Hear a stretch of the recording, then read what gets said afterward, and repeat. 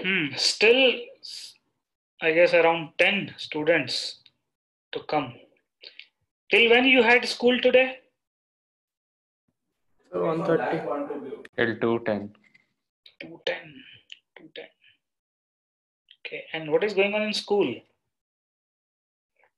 In physics? So dual nature, we're just solving the exercise questions. Okay.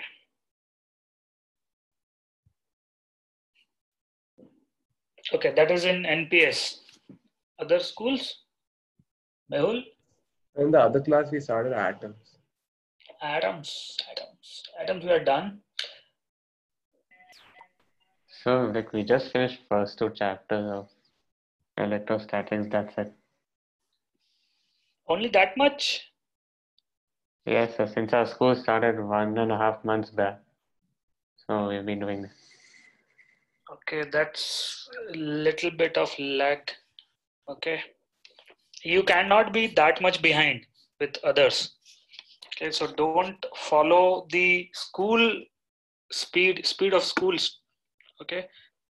Follow what is going on in Centum because you have to finish the curriculum early so that you could revise in revise the 11th portions okay and i as i already told you within a month or so our physics at least will get over.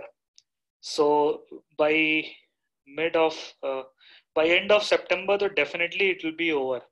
So entire october we'll be doing little bit of revision of 11th and uh, when even math and chemistry gets over math and chemistry will get over i guess by uh, first week of november so we have we will have around a, more than a month for uh, you know to revise or revisit some chapters of 11th and then we'll start the crash course. You know right? Crash course what will happen? First week of november. Any idea? No one has any papers idea. we will have daily classes okay daily we'll have classes of 3 to 4 hours. We will solve only problems then. So monday to saturday we'll be doing that. And on sunday you have to write the test. That is what is planned. That plan could get changed a little bit here and there but that is what we intend to do. Okay and uh, where are others? Very few people have joined anyways. Okay. So uh, you guys know that we are done with dual nature and atoms. And when you might be doing problems on these two chapters did you encounter questions on x-ray by any chance?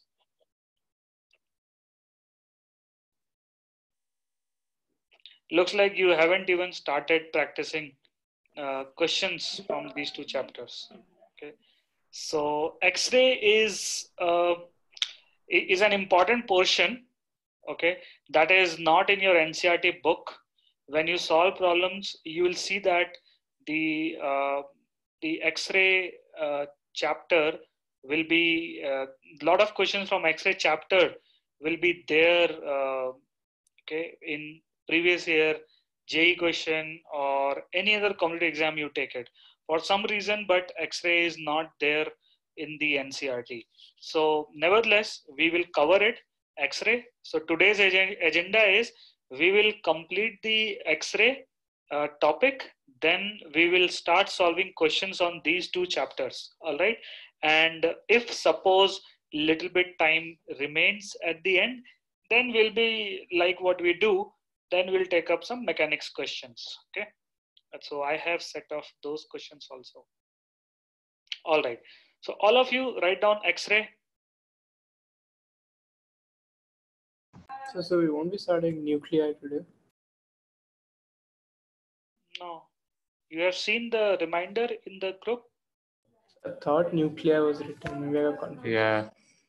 nuclei was written.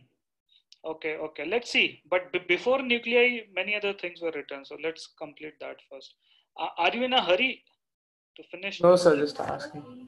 we are anyway very far ahead in physics okay so let's see.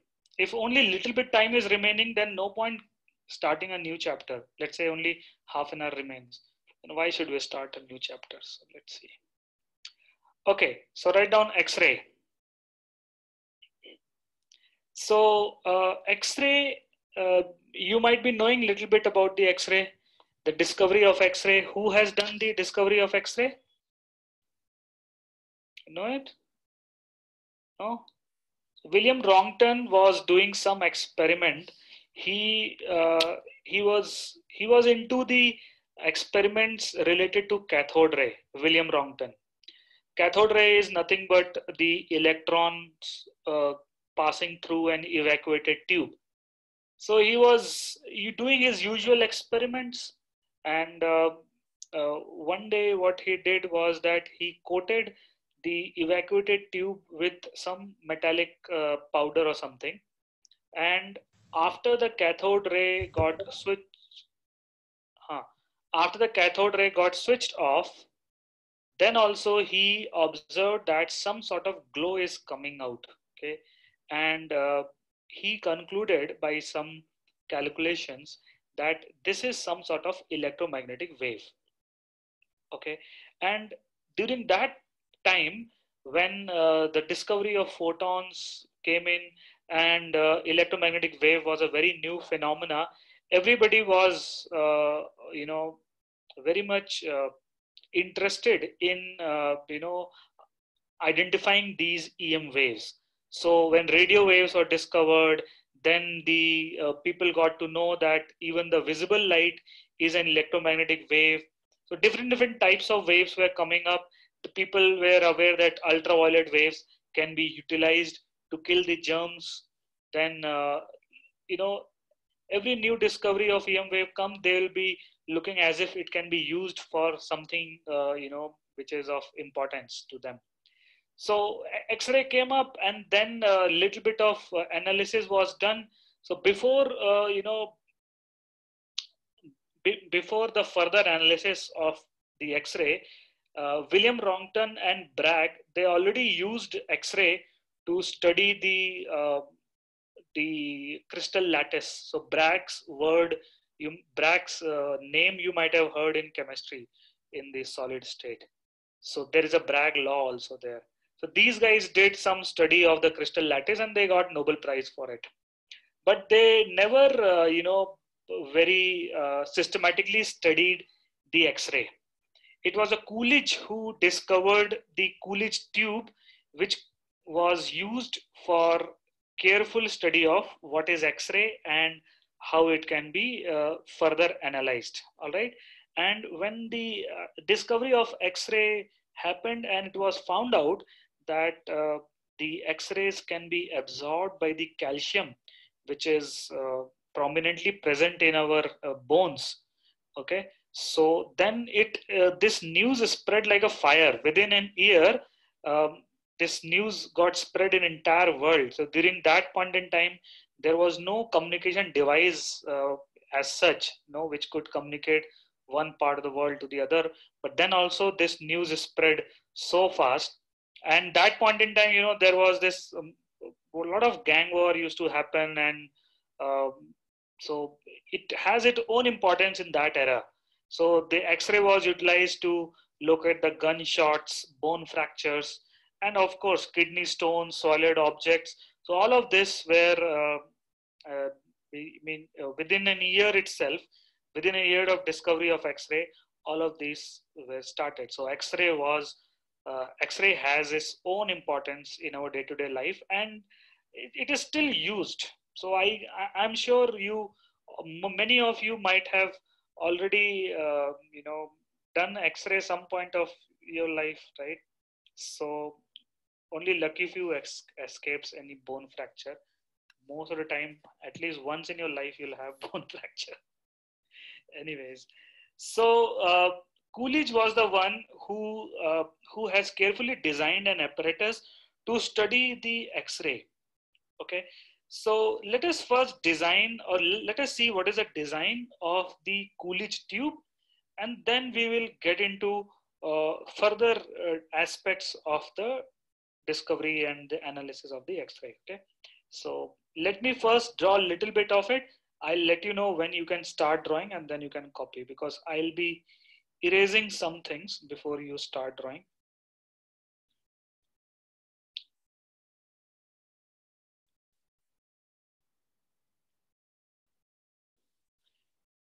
So do you had a ex- a bone fracture like some point in your life already? Yes, sir. No, sir. No, sir. No, sir. Oh, so many, so many no's. Okay, that's rare. Oh, you are pretty young also. And you don't take that much risk. During our time, there, there was no um, uh, mobile phone as such. So we have to go out to play. But then you can play on the mobile phone now. And when you play outside, a lot of accidents happen.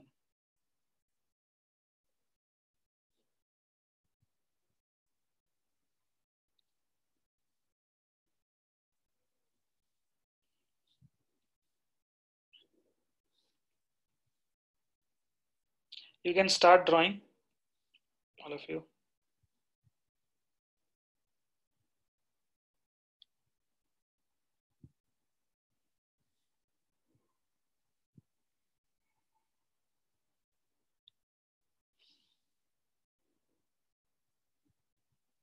Hmm. All right.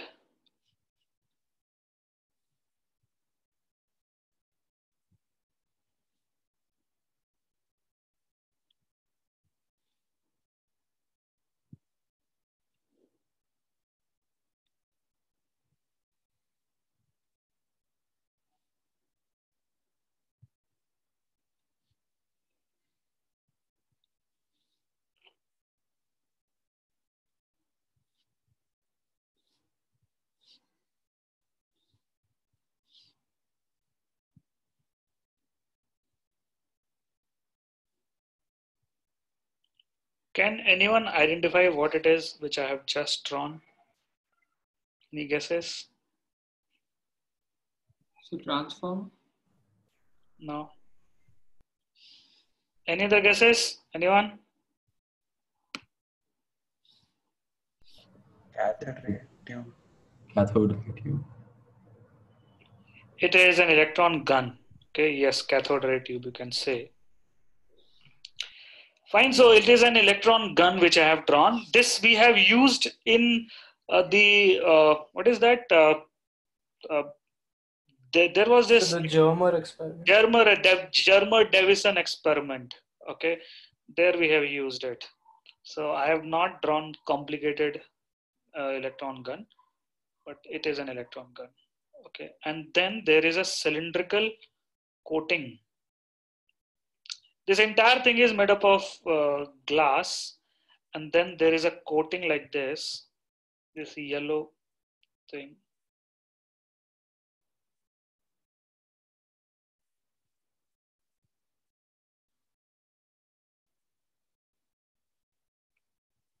this is some metal coating you can take any metal but uh, they had chosen molybdenum coating you can use anything copper also it is fine. Okay. Then uh, you have uh, one more big element over here. Sorry yeah it is fine.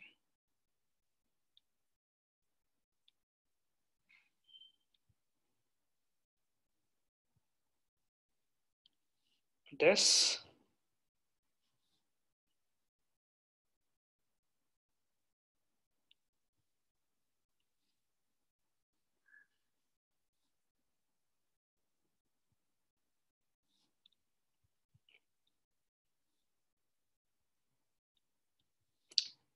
okay this entire thing is made up of copper.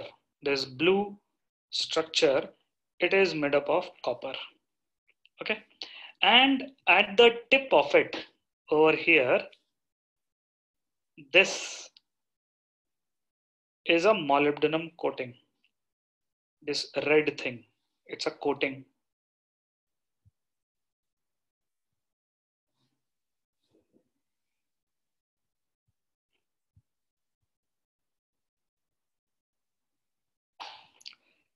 Fine. So this is LT means lower tension. The the battery has lesser potential.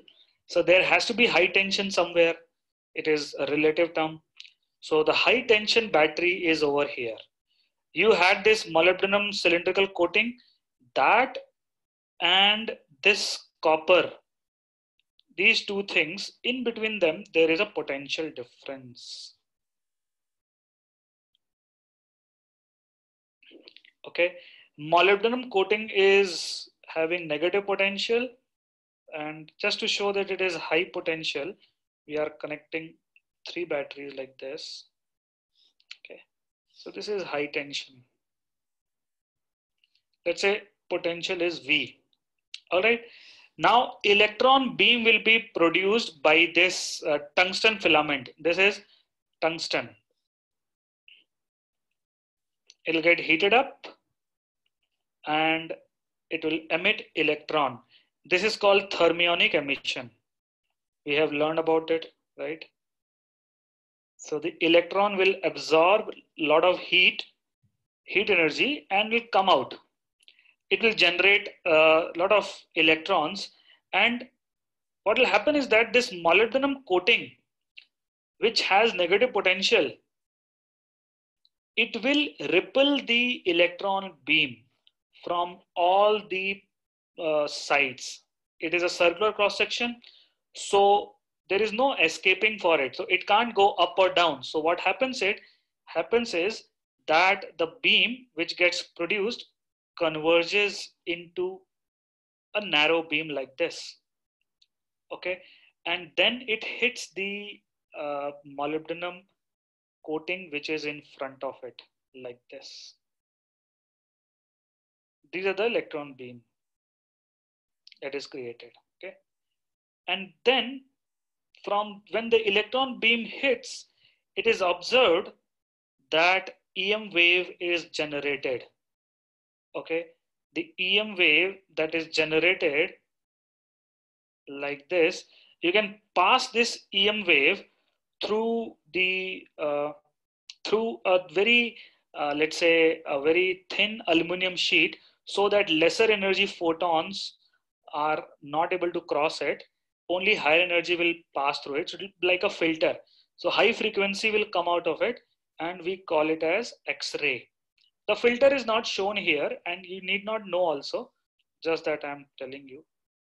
So x-ray is generated like this. Okay? Now uh, we have to get into the details of what is happening and why X-ray is getting generated over here. So this is what we have observed. Now, first question uh, which you can answer right now itself is why it is made up of copper, this thing. This blue portion, why it is made up of copper.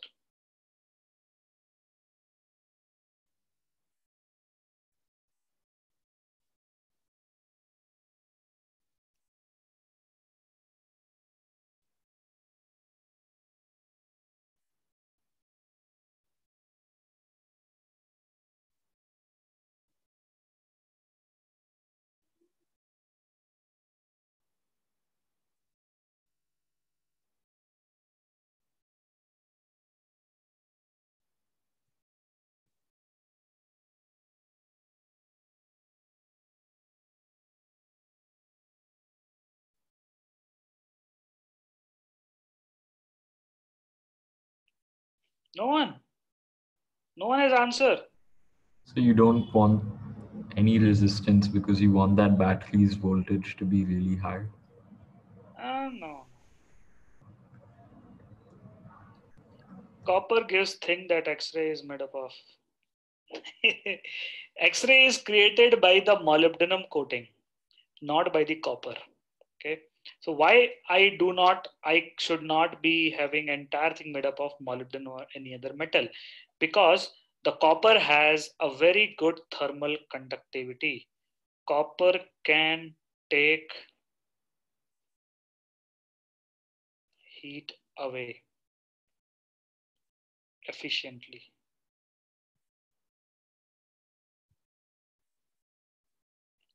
Okay, what happens is that 99% of the energy of these electrons which are hitting the molybdenum coating it goes as heat. Okay 99% energy it converts into heat and only 1% is converted into x-ray. It's it's not a very efficient process generating x-ray because photons uh, you know it will be very uh, the molybdenum coating will be very selective about which energy of the electron to absorb which one to reject and it has to you know transfer it effectively. So these electrons which are coming from electron gun it collides it generates a lot of heat which should be taken away. Otherwise the metal will start melting. And even though you made it up with copper you know what will happen is that slowly and slowly the uh, the glass uh, on the glass molybdenum will get deposited. And then uh, there you could start seeing the spark uh, very early between molybdenum and the glass itself. So slowly and slowly it anyway decays you want to make sure that it has a longer life. So you want to cool it down quickly. So you can as well you know throw water in it. You can throw some water on this copper rod which could take heat away from it. Cooling is another uh, very important aspect of it that's why it is made up of copper right so let let us watch a small uh, this thing a video of uh, of this experiment so that it is a little bit more clear i don't want any confusion related to it Sir? Hmm. So, so like today also we use the same kind of setup in normal X-rays. See, today's X-ray I haven't studied actually how it exactly it is created, but definitely there will be a cathode ray and there will be a metal on which the electron should hit. Okay, that will be there. But whether it is Coolidge tube or any other advanced mechanism, I haven't checked that. Okay.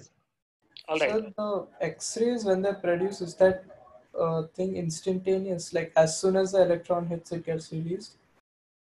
We'll discuss that. But first, let us see, let's understand the observation part of it. Conclusion and why it happens, we'll study, okay? All of you listen to this video, everyone. Production of X-rays. The lamp that is shown here was designed by Coolidge and hence it is called Coolidge tube. It contains a highly evacuated glass bulb containing a cathode, which is a tungsten filament, and anode, which is a target made up of a metal of high atomic weight. The pressure inside the bulb is maintained at 10 to the minus 6 millimeters mercury. When the cathode is heated by passing a current through it from a low tension battery, it emits electrons. The filament is surrounded by a molybdenum cylinder, which is kept at negative potential to the filament. This repels the electrons further, and hence the electrons form a fine pencil beam at the center of the cylinder. This pencil beam is also accelerated by the cylinder towards the target. Is made up of a copper block on which a piece of molybdenum is fixed. High thermoconductivity is used to carry away the heat generated to the cooling setup. The target is also titled to an angle of 45 degrees, causing the electrons to heat at an angle. This produces X-rays almost perpendicular to the electron beam. A very high potential of 20 kilovolt is applied between the source and the target. Due to the high potential difference, the electrons are accelerated towards the anode and it hits the metal. When it hits, the kinetic energy is transferred to produce X-rays. The intensity of X-rays depends on the number of electrons striking the metal target. So, if we can increase by increasing the current through the filament, then we can increase the intensity of X-rays. So uh, one last point which the he Uh, what was that other machine that was like pumping something else? Was that Yeah. It was water. It is just That pumping, shower like stuff. just pumping water, nothing else. Okay. It was used to cool. Hello? Yes, sir. Got it. Huh, so one last thing that uh, this guy mentioned was that the intensity of the X-ray depends on number of electrons hitting this molybdenum coating. Okay, and that makes sense because one electron can generate only one photon. Fine. So if you want to increase the intensity of X-ray, which is number of photons, you have to increase the number of electrons. So that is what uh, was claimed. And then he has al also mentioned that this coating should be of higher atomic number. Okay, we will we will see why it is required when we will study it mathematically. Okay, so let us see what is causing the X-ray to get emitted when the electrons are hitting the molybdenum coating. What exactly happens? Now we are getting into the reasoning part of it. Fine. So molybdenum is of course a very high atomic uh, number atom. So we will be drawing a representative, uh, you know, atom for the molybdenum. So it will have multiple shells. So let me draw all that. All of you draw with me. Let's say it has a K shell. And let's say this is L.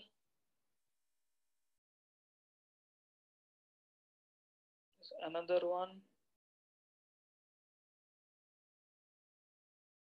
Okay, I've just drawn three. So K, L, M. Everyone draw this. So I'm just drawing the electrons. There can be multiple electrons, so I'm just drawing few of them as a representation sake, nothing else.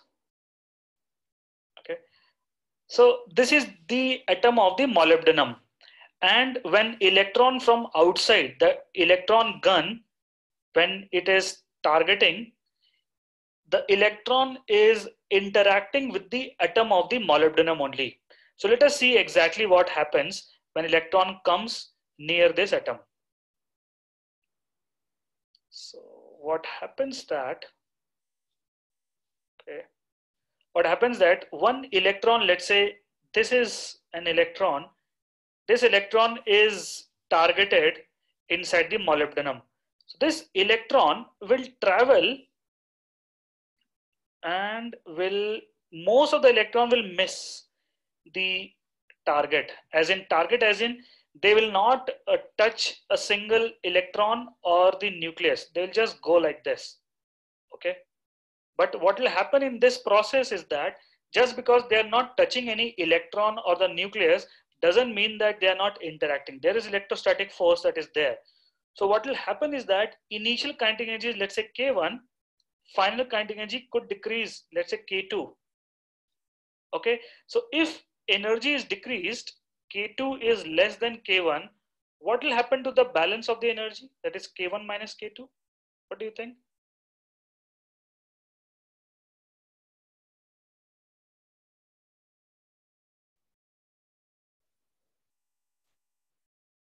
Electron came So, with so kinetic energy K1. Its kinetic energy becomes K2. It has decreased. The balance of energy, where it goes? it goes into some other electron. No, it is not touching It'll go into the X-ray.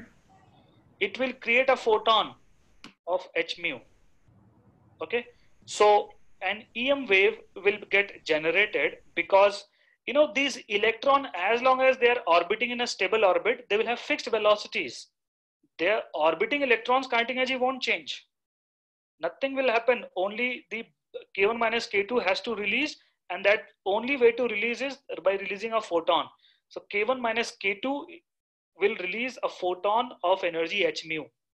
Okay. Now, if K1 is fixed, K1 is fixed, how many values of K2 can exist? K2 can be how many? K2 can have how many values? So anything, right? Like Infinite values. Infinite. Infinite values. Uh, okay, starting from zero to K1 itself. Infinite. So this creates a continuous spectrum of frequency. All of you able to understand? Continuous spectrum of frequency will be emitted. So starting from the maximum possible frequency to minimum possible frequency, everything will get emitted. Now, can you tell me what is the uh, what is the minimum? Sorry, what is the maximum possible frequency?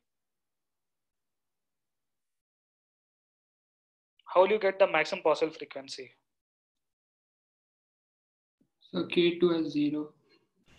K2 is 0, so K1 will be equal to H into mu max, right? So K1 can be written as HC by, I can say lambda threshold. Lambda will be minimum, so I'm calling it as threshold. When it is minimum, we call it like a threshold like this. Now what is K1? Can you find K1? Look at the diagram which you have drawn here what will be the kinetic energy of electron? Can you tell me? So E and It's EV. How much? EV. EV. You can see electron is accelerated from this potential to that potential. The potential difference between the molybdenum coating and the copper is V. So the energy is EV. Fine. So K1 is E into V. So equating this, you will get the maximum possible frequency or minimum possible wavelength. So does it depend on what is the material over here, as in whether it is molybdenum coating here or some other steel is there, iron is there? Does it matter to the min, uh, to the maximum possible frequency? So it depends on lam- lambda threshold, right? it doesn't matter, right? Because it depends on the kinetic energy. The entire kinetic energy, when it gets converted into the photon, that will emit the maximum frequency. So this particular thing doesn't depend on the material. So this uh, is independent of the material or independent of this atom itself through which the electron is passing the maximum possible frequency. But uh, apart from this, once in a while, electron the let's call it as outside electron. This outside electron once in a while can knock off an orbital electron. Suppose it knocks off this electron. This electron, it knocks off. And because of which there is a vacancy here. So what will happen now? Anyone? if there is a vacancy there, what will happen? The kinetic energy will get transferred. See, I am interested only in the photon, EM wave. Let's not talk about the uh, you know energy transfer here. Tell me how photons will be generated now. If electron is knocked off from K shell, after that what will happen? Suppose it get knocked off. After that, So will enter some other shell. So will this electron have intense incentive to jump from L to K? Can it do that? Yes, sir. Which energy is higher, energy of K shell or L shell? L shell. L is higher. So definitely it is an uh, incentivized thing because everything in this universe wants to decrease their de- decrease their energy. So that's why from L it will be readily be you know it will be ready to jump to the k. So if electron gets knocked off from k electron will jump from l to k. Okay? And when electron jumps from l to k let me write it down electron from l or higher shell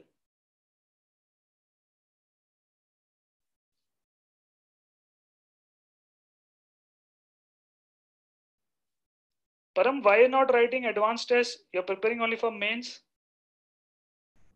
Jump from. Mm, so I didn't study enough for that one, and I, yeah, I spent like my entire time studying for the UT. No, then you, no, then you cut out for advance if you are if you have these kind of excuses. Okay, you have to find time. Everybody else, those who have written, they have got time. Only you did not get the time. How is that possible? Okay, electron from L or higher shell can jump to K. K shell. Okay. Now this jumping of higher shell to K shell, when it jumps, energy of the electron is decreased when it goes from L to K. And that difference energy gets emitted as an uh, emitted as a photon of high energy, which is of X-ray radiation, X-ray frequency. Okay. So let's say energy of L minus energy of K when electron is jumping from L to K will generate a frequency which is of X-ray. This is called K alpha radiation. If you are jumping from M to K, these are the names, that's all. This radiation, this frequency, when it comes out, it is called K beta radiation. Okay, now coming back to the point why the atomic number of the material should be high, because then only the difference in L and K will be very high. Difference in the two levels should be very high. And you know, energies, energy of a particular level is proportional to atomic number square sort of thing, right? 13.6 by uh, n square into z square. So if it is a heavier mass, then the difference in energy levels will be high. So when electron jumps from uh, L to K, higher frequency will get emitted. So that is the reason why. Okay. Anyone has any doubt? So in the beginning, why did you assume that kinetic energy increases? Where I have assumed kinetic energy increases. It decreases, sorry. First. We already we said that K2 is less than K1. Like what would happen if K2 becomes more? How K2 will become more? No, no, there is no chance it can become more.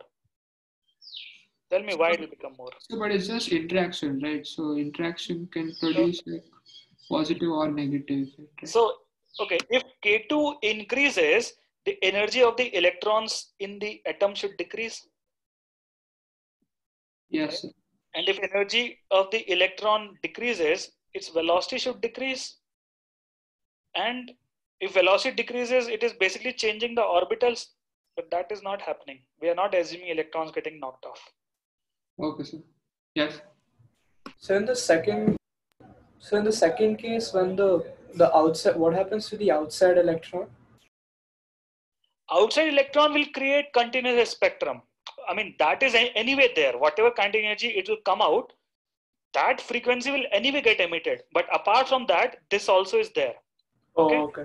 Now, this frequency, do you think it depends on the outside electron's energy, final initial, or it is independent of that, this frequency that get emitted? What do you think?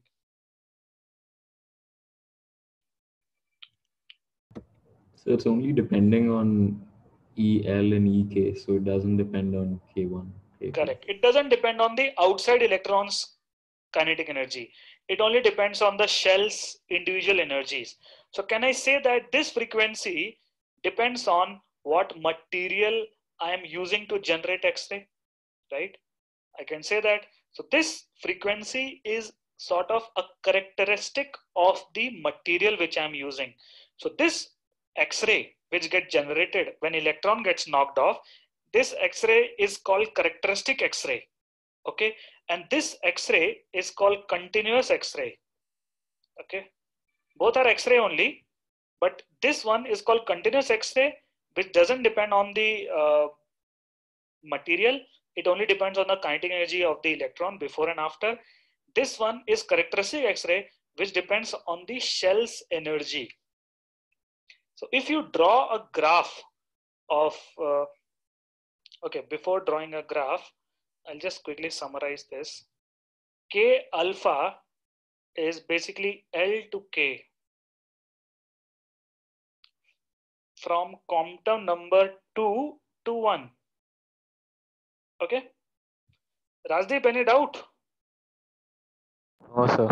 K beta is from M to K. N equal to 3 to 1. Okay, these are these are K alpha, K beta. Similarly, you will have L alpha, L beta. So what do you think L alpha will be? From where to where? From M to L. M to L. And this will be N to L. N to L. Okay, so rather than using KLM, it will be better if we start using the principal quantum number from 3 to 2. And this one is from n equal to 4 to 2. Okay, but then in our study, uh, most of the time we'll be talking about K alpha and K beta. We are not worried about these, but then sometimes these could also come in. At max, L alpha will come in. But we should be knowing that L beta also exist. Hmm. So uh, if you draw a graph, now we can talk about a graph.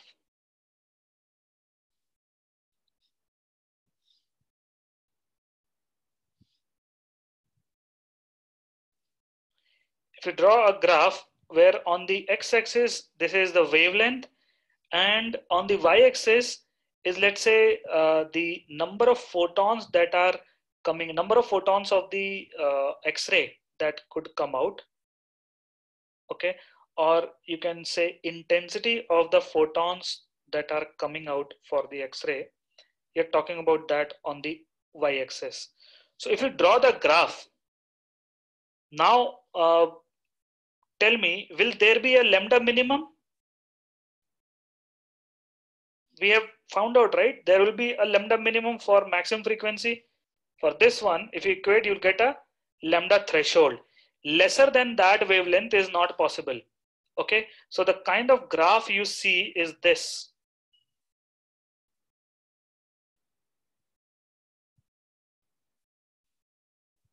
This kind of graph you see. Now, what can you make it make out of it? What does these two peaks represent? Any guesses? K alpha, K beta. Correct. So they are the aberration to the continuous spectrum which you are getting. The, the way they are produced is different from the way continuous spectrum is produced. So that's why in the graph also it is clearly seen. This is the continuous X-ray which you get. So the wavelength, there is a lambda threshold over here. Okay. So, Hmm. so, so like uh, this characteristic will be only produced at these points. Even continuous is being produced at the same points. Yes, yes, Oh. there can be. Why not? Okay. So, but like this characteristic thing, why, why does that even need these electrons? Because in that, in the characteristic, you're losing energy. So, and here the electron is losing energy. So, shouldn't it become more difficult? It doesn't need it. It is just that the electron should be knocked off and you need an external electron to knock it off.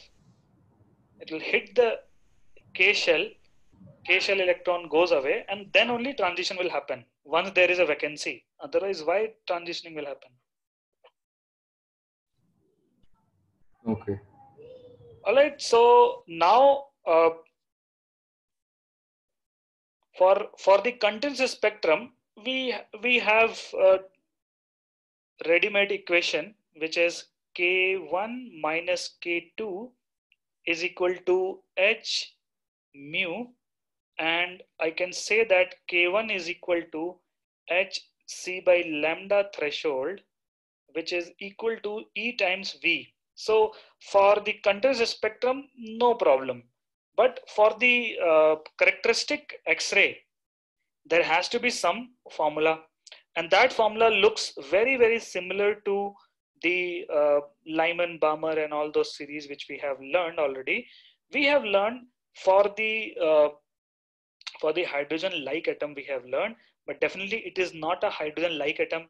There are multiple electrons in the orbit okay because of which the atomic number will get screened away and there is a screening factor also do you know what is a screening effect have you heard of it No, sir. others No, sir. अरे screening effect नहीं पढ़ा भाई तुम okay you remind Gaurav about it okay screening effect So we we have done screening effect. what it is please So those those numbers uh, 0.3 something. what? Three something? For, for So basically, something like shielding effect or something. ah like a shielding effect. Ah, you did it last year. Poor shielding of DNF electrons and all that. Yes. Yes. so Oh, yes, the, the outer shell electrons were not uh, the outer shell electrons they are not very uh, it is not very easy for them to interact with the nucleus because they get shielded away by the other electrons so the atomic number behaves as if number of protons inside the nucleus behave as if it is lesser than what it is actually due to the shielding of the uh, the the inner shell electrons. And hence the effective atomic number is decreased. And that atomic number can be written as z minus b. Okay? B is the screening constant. Write down b is the screening constant. So i'll just tell you the values of uh, the screening factor. For k alpha the screening constant b is 1 okay? And you can use it for k beta also. It is very similar the values of k alpha and k beta. B is 1 for l alpha the value of b is 7.4 which is hardly used. You can keep it okay this is the formula for the characteristic x-ray if you have to find the wavelength of it Okay. Hmm. Now let us work around and see what we can do further with this formula. 1 by lambda is z minus b whole square Rydberg constant 1 by n1 square minus 1 by n2 square. n1 and n2 are the quantum number uh, between which the transitioning is happening. Okay, c by lambda is your frequency which is equal to c z minus b the whole square Rydberg constant 1 by n1 square minus 1 by n2 square. Okay, so for a fixed n1 and n2, let's say I'm talking about only k alpha. Okay, k alpha, or let's say I'm talking about k beta. So there's a fixed transition between the two quantum states. So mu is equal to some constant times z minus b whole square. Or I can say root of mu is equal to a constant times z minus b. Okay, this is the final outcome and this is called the Moseley's law.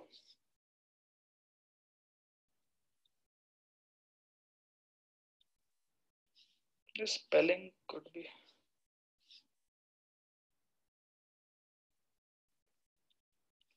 this is Moseley's law. So if you draw a graph between these two things, root of frequency and atomic number, Z, what you'll get? A straight line. This. Hmm, tell me. No, sir. Sorry, sir. I thought I had. Uh, tell me, anyone has any doubt? This is the complete theory of the X-ray. No one has any doubt? Control N1 and N2, right? What? Say it again. We can't control N1 and N2, right? Ah, you cannot control N1 and N2, but first K alpha will come, then K beta will come. Okay. Could you go to the previous slide for one second? I think I missed something. Hmm.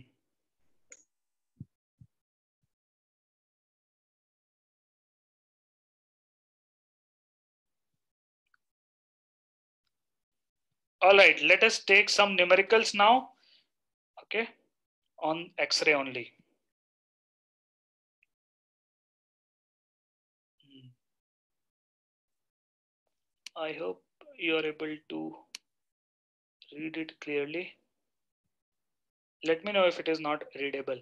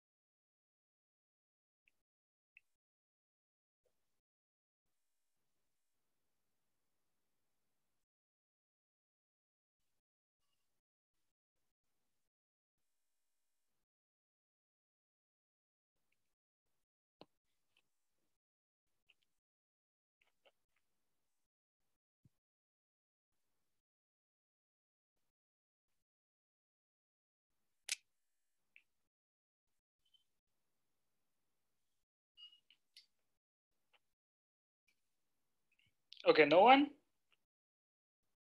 So one sec, one sec.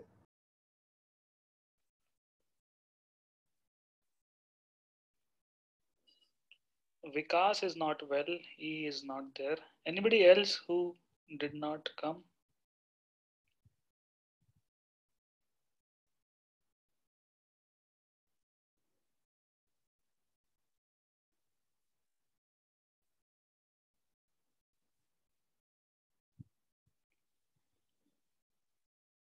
Param answer बता answer ये क्या expression क्या बता रहा है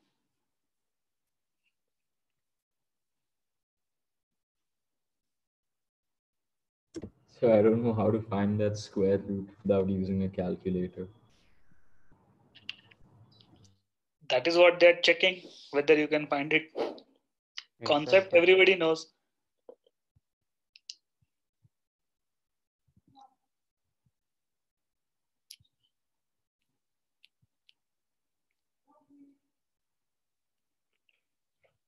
Should we do it now? Everyone Yes, sir.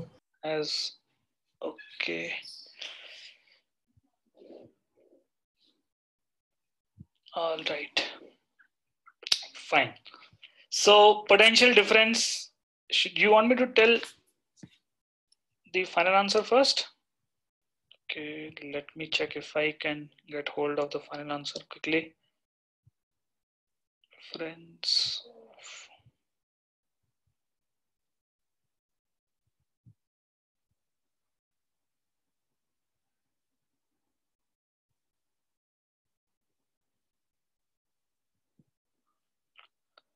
Uh, uh, uh. Okay. Final answer is 1 by 20.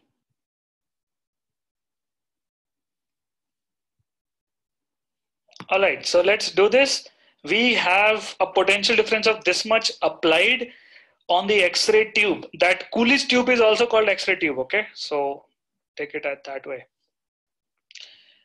De Broglie wavelength to the shortest wavelength of the X-ray produced. Shortest wavelength of X-ray will be for the maximum frequency for which the entire kinetic energy of the electron gets converted into the photon. So lambda threshold is equal to hc by e times 1000. Okay, this is the minimum wavelength. Now for the, uh, what is that? De Broglie wavelength. De Broglie wavelength is h by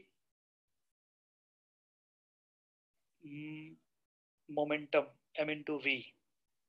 This is velocity. And mass time momentum, you can write it as oh, and now I get it.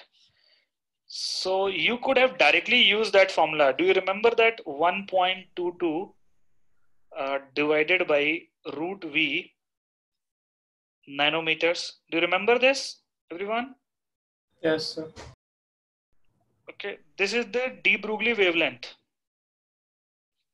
So you can get it as 1.22 into 10 to the minus 9 divided by root 1000. Anybody knows root 1000 how much?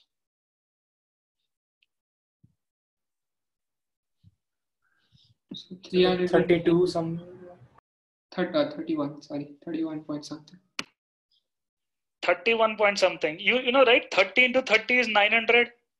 Okay, so like that you can arrive at it. You can write 31, 32 like that, and then take the ratio of these two wavelengths. You get the answer then.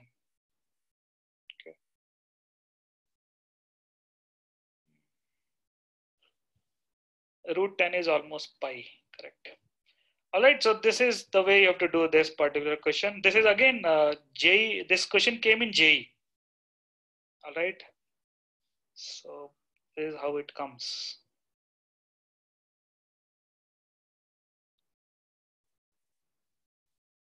Do this. Assume that screening factor B is equal to one for all cases, whether it is K alpha, L alpha, K beta. Screening factor is this only. You need to find uh, the wavelength of K beta in terms of wavelength of K alpha and wavelength of L alpha. So let me write this as lambda 1 and this as lambda 2. Don't use the values. So I've made the calculation simpler for you.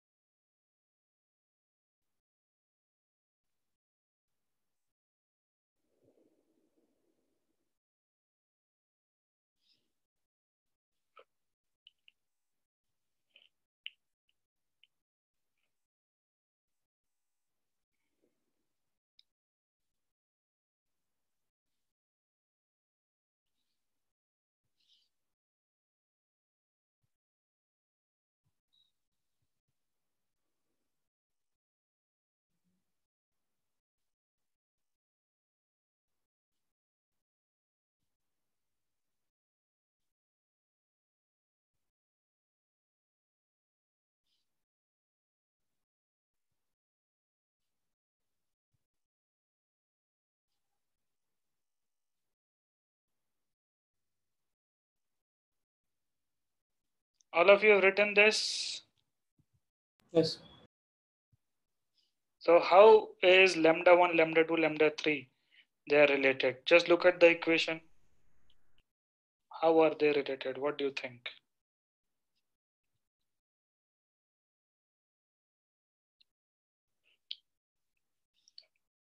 Huh? Can you look at some pattern here? If you multiply 1 by lambda, lambda 1 हाँ राहुल बताओ So I got a 1 by lambda kb or 1 by lambda 3 is equal to 1 by lambda 1 plus 1 by lambda 2. Look at this. If you add these two equations, you'll get a third equation, isn't it? So 1 by lambda 3 is equal to 1 by lambda 1 plus 1 by lambda 2. You can get this, or you can just divide these two equations. The first and second you can divide. You can get lambda 2 in terms of, sorry, you can divide this equation with that. You can get lambda 3 in terms of lambda 1 or lambda 3 in terms of lambda 2 also you can get by dividing it. But this one is straightforward, the first relation which we have got. You can just add two equations, you get the third one.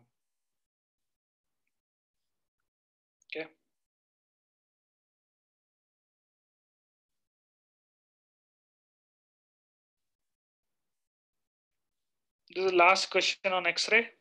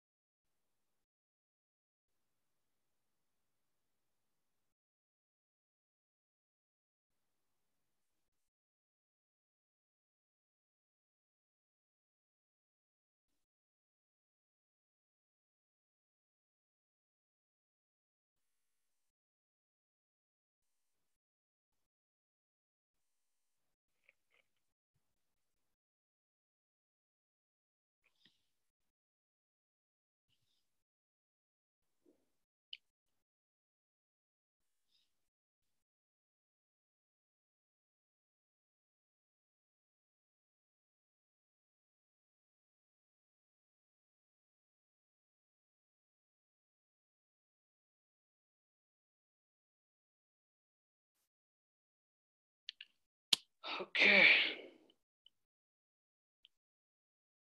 This one, at least all of you should get it. It's a straightforward question.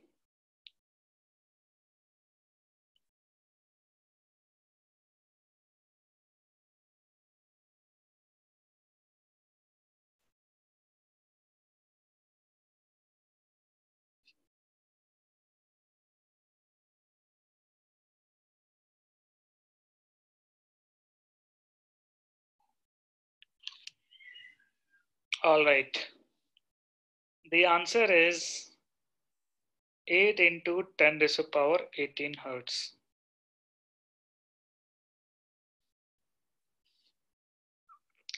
How it comes? Very simple. Root of frequency is some constant into z minus 1. It is k alpha. So frequency is some constant into z minus 1 whole square. So for copper, we have a frequency of 2 into 10 raised to power 18. This is equal to constant into z minus 1, that is 28 square. So for the for the other element, we have k into 57 minus 1, that is 56 square, that is 4 times k into 28 square. That is 4 times of the given frequency. Okay. Fine. So this is the introduction of X-ray. Now you are fully equipped to take any questions from anywhere on these two chapters. So let us see whether you can take it up some of the other questions. Anyone has any doubts till now from anywhere on these two chapters? Quickly ask. Uh, so could you repeat the values of B for K alpha, K beta again? I took down 0.7. I, it is there on the PDF. I'll share it. Okay, don't worry. I have already told you, na? K alpha. So so K alpha, K beta is one, right? Uh, for L alpha, it is 7.4. Okay. Anyone has any doubt? That was not a doubt. No one? Should we start taking numericals? Yes, sir. Okay, okay.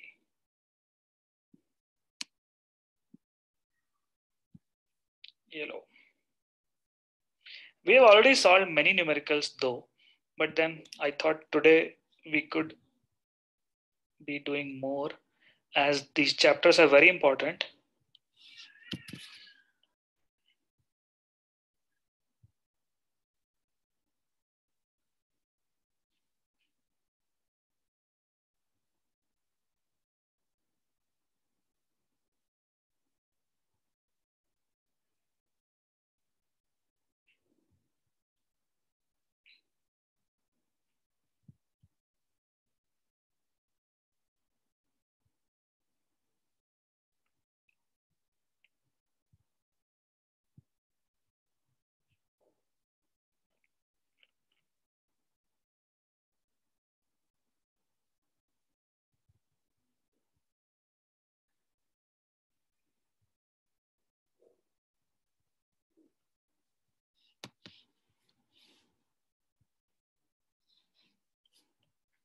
Okay, first question. CBD. Three different answers people are getting. Why is that?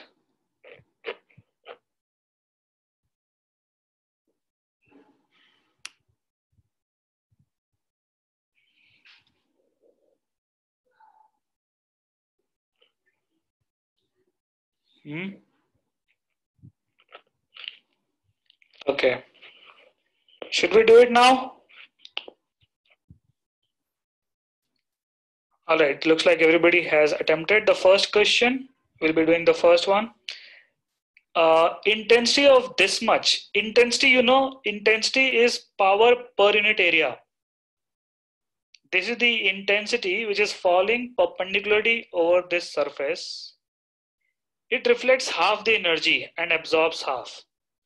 So for electron, how much uh, power will be there?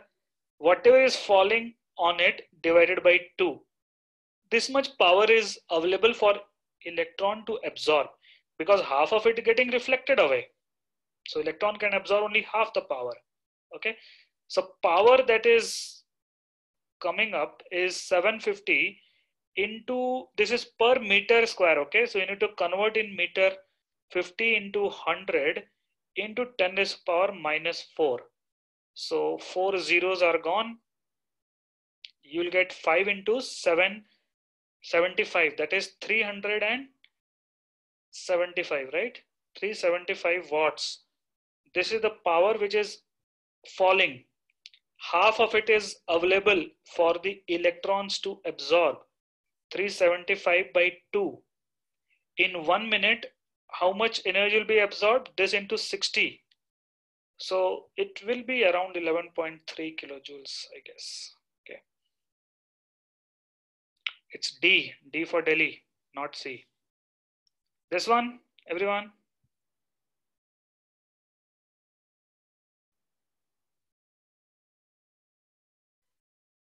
Second one, do it carefully. There is no race. If you are in a hurry, every time you'll make a silly error. Better to get zero than minus one.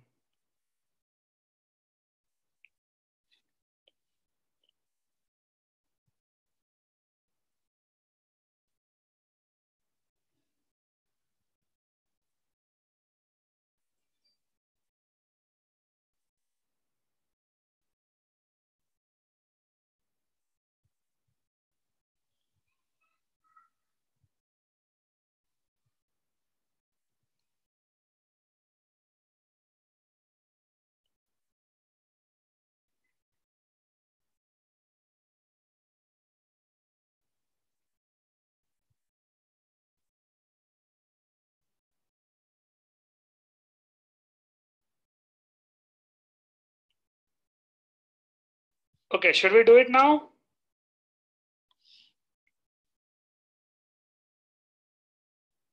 Okay. I can see many of you are answering B. B for Bombay.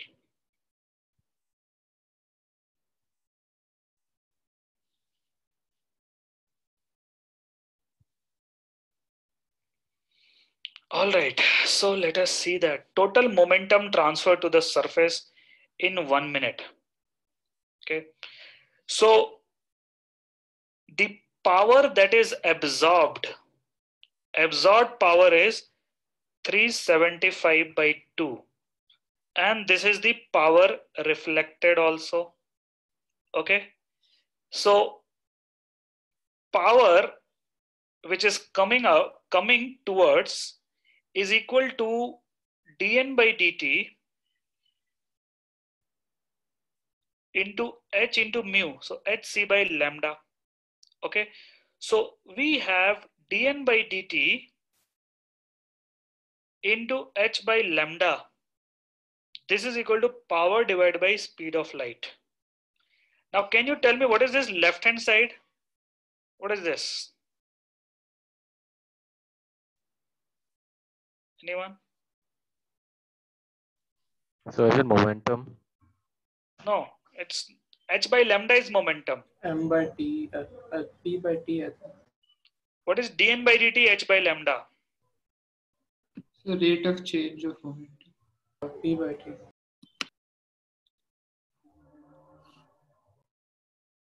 It is rate of change of momentum. Okay. See, d total number of photons into h by lambda is total momentum.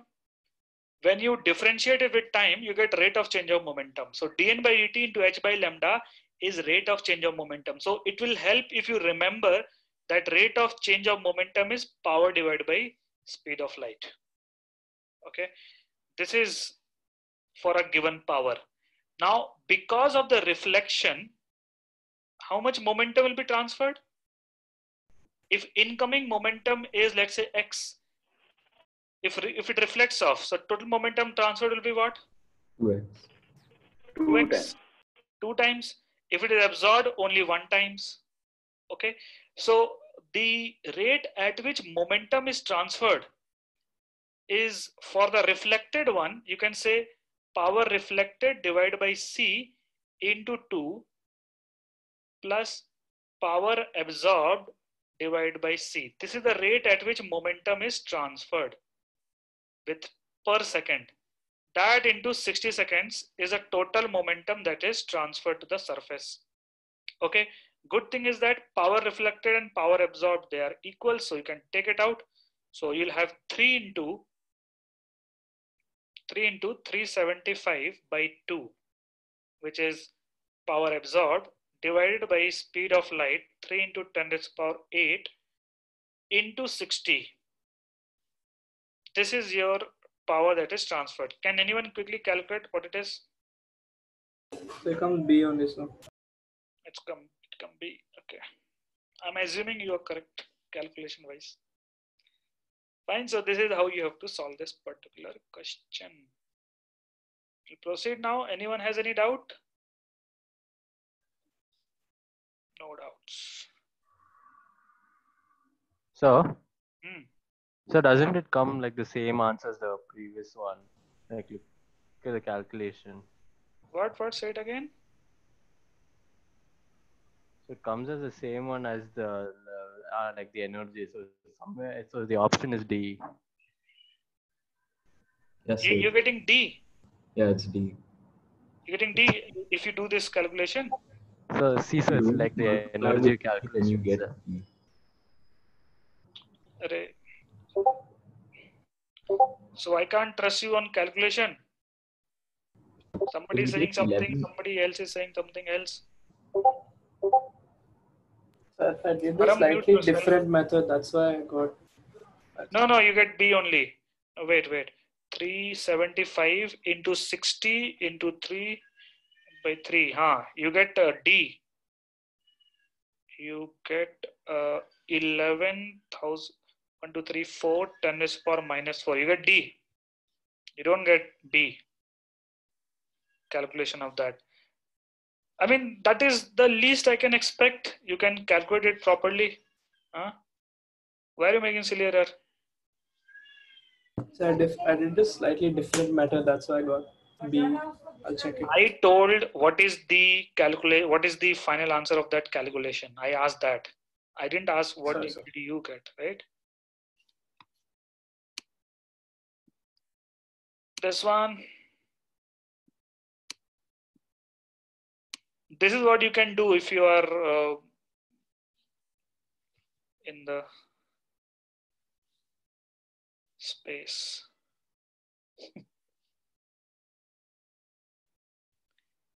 Carry a torch.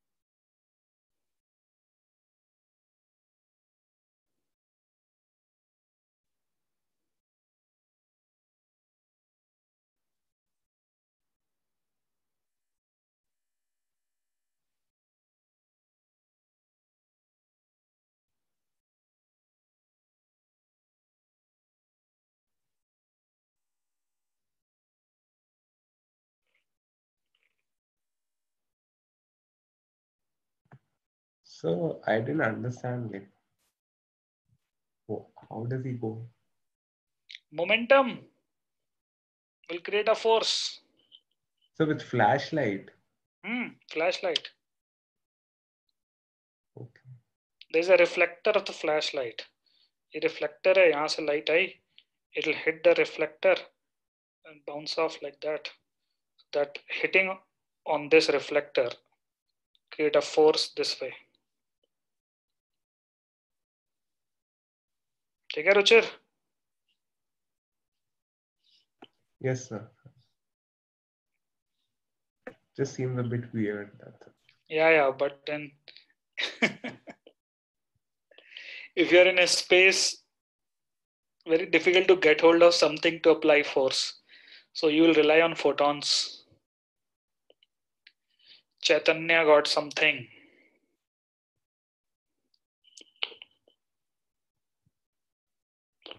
So what does radiation pressure mean? force per unit area due to radiation Okay.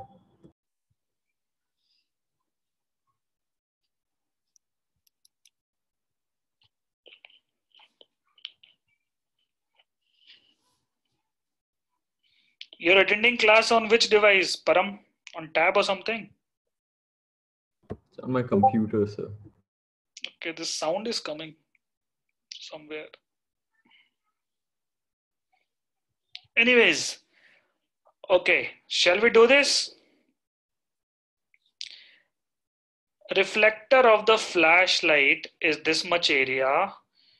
The power is this. So uh, rate of change of momentum. P is momentum actually. I don't know why in physics they keep on using the same symbol for everything uh, anyways you understand right? This is the force dp by dt which is power divided by speed of light. We just derived it isn't it? So power is uh, 1000 divided by 3 into 10 raised to the power 8 this is force. So pressure pressure is also p. Pressure power and momentum. Everything is p. Momentum should be m but m is mass. Okay. So pressure is this uh, 10 is power minus 5 divided by 3 divided by 0.5 how much this is? 1 divided by 1.5 into 10 option A. option a? Option a option a option a. Yes looks like. All right. Do this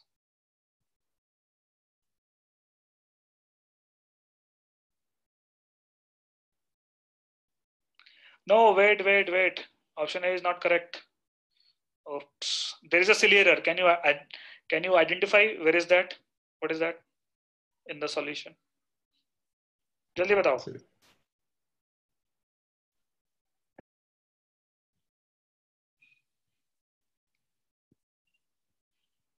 जल्दी No one. Obviously error. Param will tell. Param. I don't. You don't know. Okay. Ruchir. Ruchir will tell. Ruchir Parekh and Ruchir Singh. Both Ruchirs.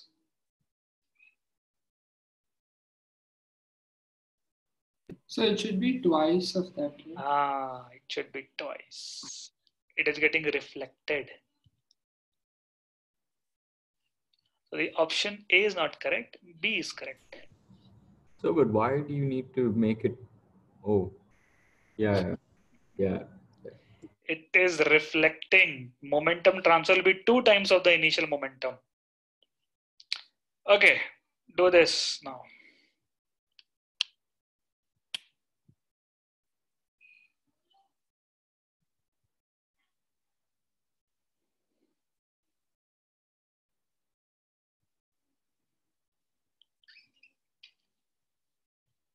Is a const is, is it a constant force? Yes, sir. So acceleration will be constant. So I can use a kinematics equation. Yes, sir. करो use.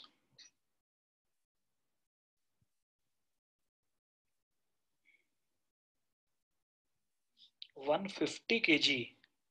Acha, gear is also there.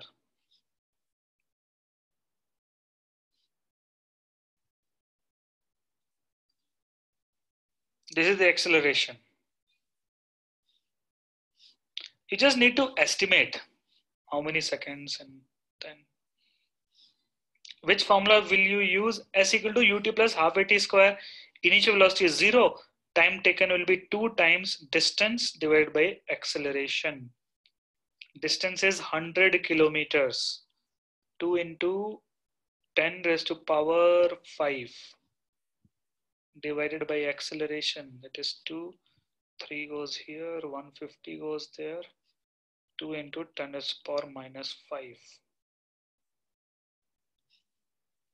so 10 to the power 5 comes out 2 is gone so it is root 450 root of 450 into 10 to the power 5 or you can say root of 4.5 into 10 to the power 6 what is root of 4.5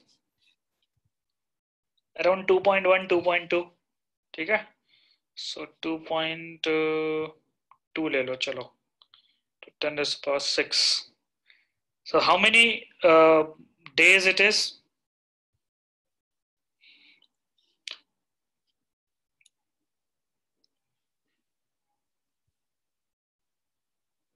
huh? One, one second. month has how many seconds can you tell me one year has how many seconds how many seconds one year has these three 86400 into 365. No, no, no. One year has how many seconds? You, sh- you should be knowing all these things. Pi into 10 is power 7 seconds, roughly. One year. So one month will have divided by 12. Okay. So pi divided by 12. Is around 1 by 4. So 2.5 into 10 power 6. 2.5 into 10 to the power 6. So it will be less than a month. No. Yeah. One. Yeah. So less than a month. So option A. Okay. So you can see here they're checking how good you are with the numbers. How can you navigate to the answer rather than your concept? So everything counts. You should not be just focusing on, oh, I know the concept. I don't need to calculate anything. You'll be faltering where you expect the least. Okay? So all these things uh, should be you should be sharp in all these calculation related things as well.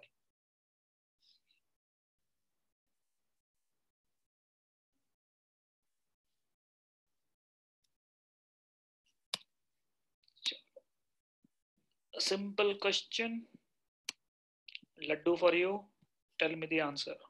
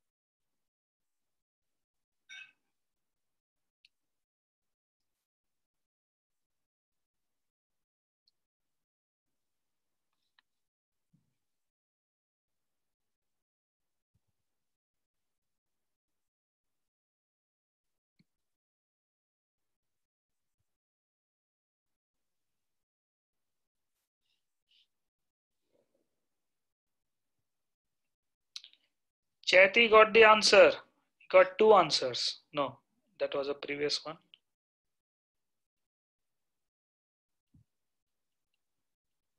Others.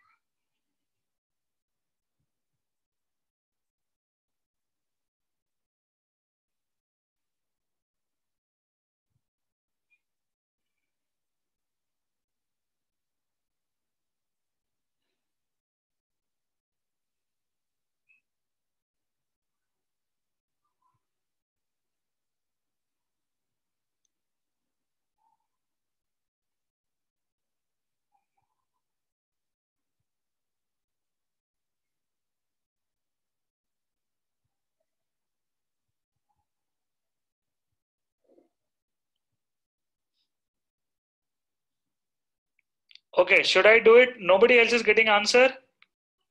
Here, what what are you getting?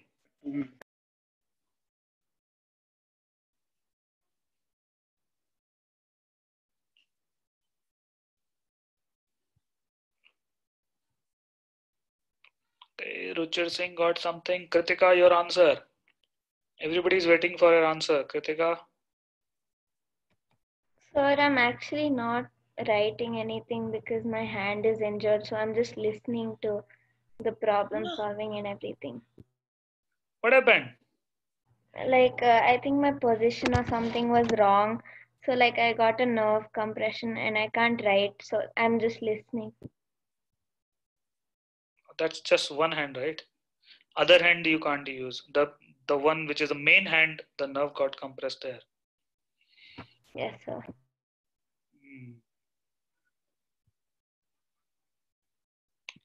Anyways, so the answer is C. Let us see. De Broglie wavelength of electron in orbit of hydrogen atom is this. Principal quantum number for this electron is what? Param, Param immediately changed the answer huh? the moment. No, sir. I, I yeah, I found. No excuse now. Sorry, sir. So de Broglie wavelength is h by mv. This is equal to 10 is power minus 9. Okay. And um, we know MVR is NH by 2 pi. So the value of M into V we can substitute over here. You will get H divided by NH by 2 pi R. This is equal to 10 s power minus 9 or 2 pi R divided by N. This is equal to 10 s power minus 9. This is a hydrogen atom, right? So R is equal to R naught. R naught is 0.53 into 10 s power minus 10, 0.53 angstrom. You should know this. Is equal to 10 s power minus 9. Okay. This becomes 10. So the value of n. Okay. Huh, the value of n will be 2 pi into 0.53 divide by 10 is it कुछ silly किया गया यहाँ पे factor of 10 am am I missing So the radius should be. uh, n uh, square n square yeah yeah yeah yeah yeah so n square will be there r is equal to r naught into n square so n n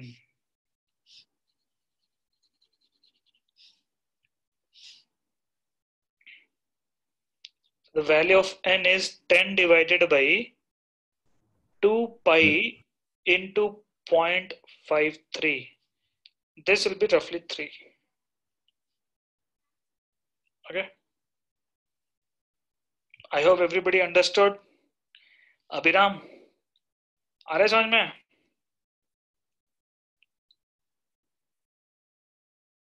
Abhiram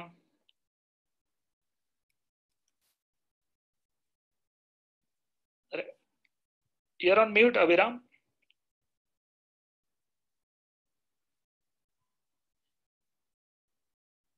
sometime i wonder whether you guys are there or not okay this is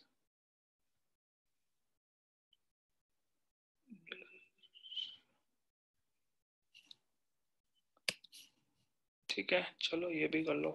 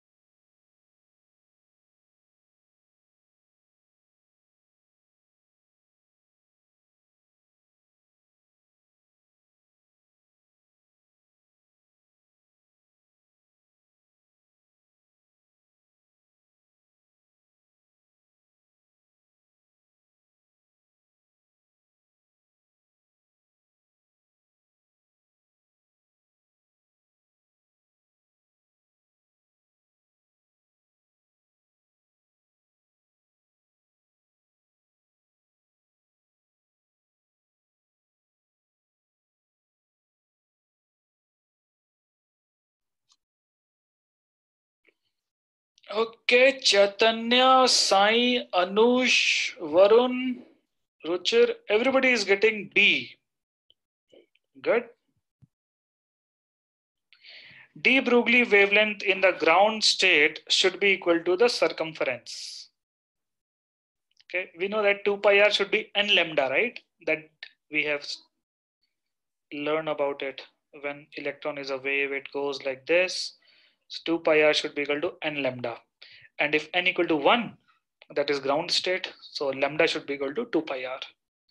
So 2 pi into 0.53 angstrom, which you'll get it as B.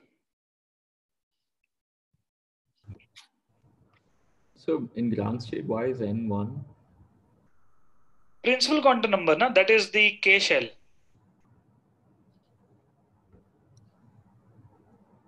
It is a definition of it.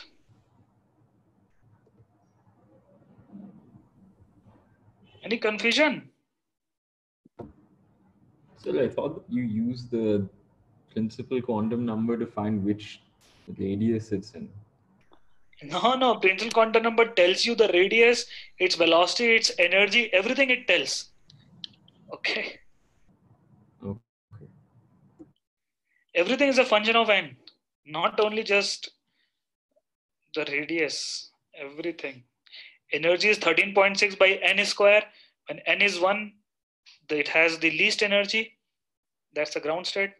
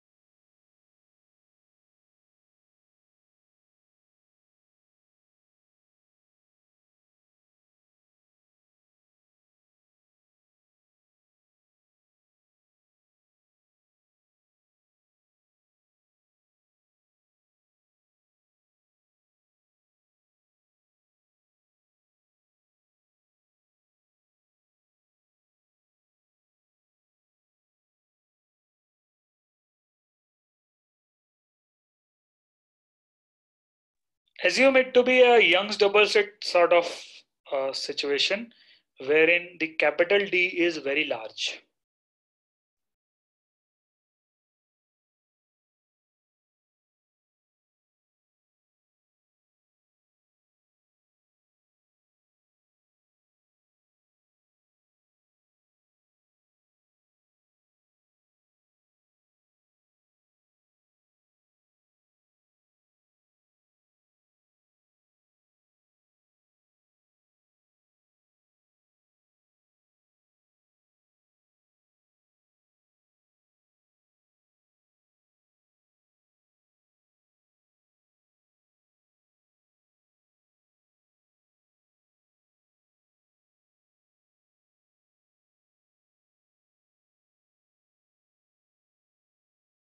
No one is close to the answer.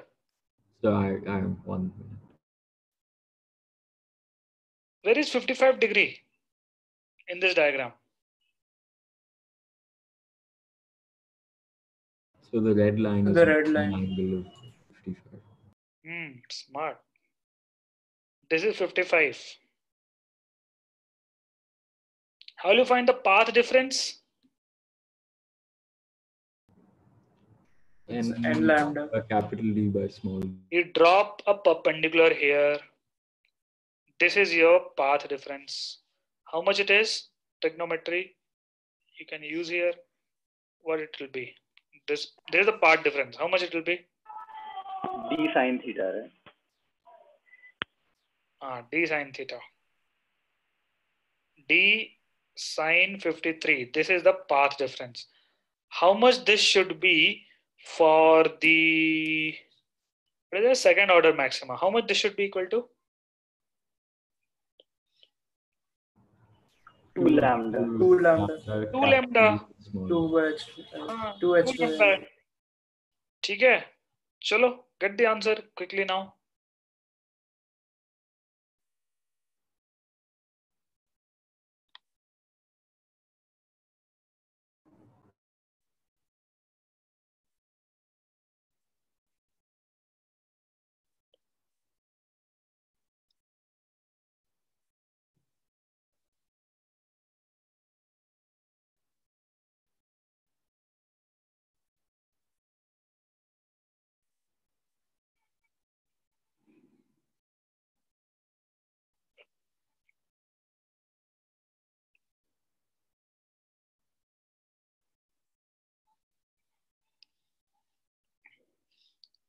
done Ruchir Parekh got something Hia got something. Others Chaitanya Pradyut.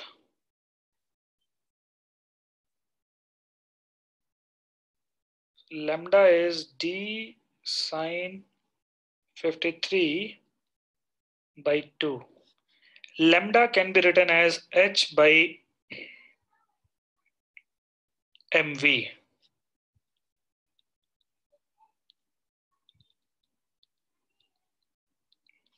right so velocity is 2h divided by md sine of 53 how much you get by substituting the values Around 600. Hmm. Precisely, it will be Yes, 589 meter per second. This is the velocity which is 5 times of 111. The answer for K is 5. Correct? Okay. Sir, how did you get 53 degrees of it? 55 है sorry 53 क्यों लिख दिया मैंने 55 it is ठीक है Okay. Ajay, one one thing someone told at the start that JEE advanced test physics was very easy. Is that correct? Like uh, others also felt like that. Ruchir Parekh, Ruchir Singh. Did you find physics much easier than chemistry and maths in advanced test? So yes, so in the first test, the second test was hard. H- harder than Uh, first test is first test was simpler. And Yes. second test, second test, which was the simplest out of three subjects?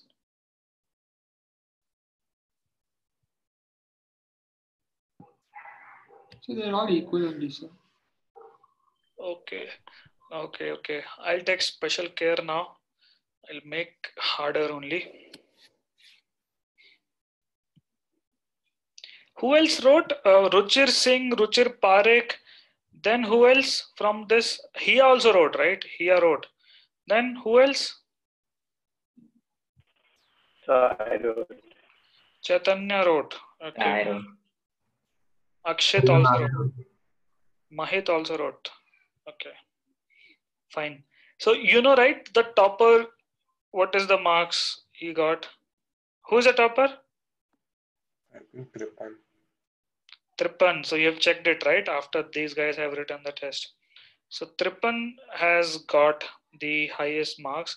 In paper one, he got, um, I guess, 131 he got in paper one.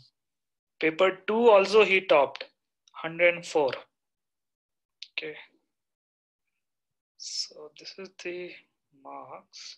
And don't worry about your uh, marks in JEE Advanced. Suppose you write JEE Advanced paper and you're worried that, oh, it is too less, uh, it is useless for me to prepare for JEE Advanced. So all those thought, don't let that come in because when you prepare for JEE Advanced, every other exam automatically get prepared. So you are, if you're only preparing for advanced, suppose you don't get selected in advance, but then in the process of preparing for advance, you have learned many, many new things which you can utilize in every other exam you write. Okay. So don't get bogged down upon it. So like when you're, if you're writing JEE Advanced, write all the JEE Advanced tests and also prepare for it. You know, without preparation, don't write also. But for school UTs, if you miss this, is a crime. Like what someone in our group has done.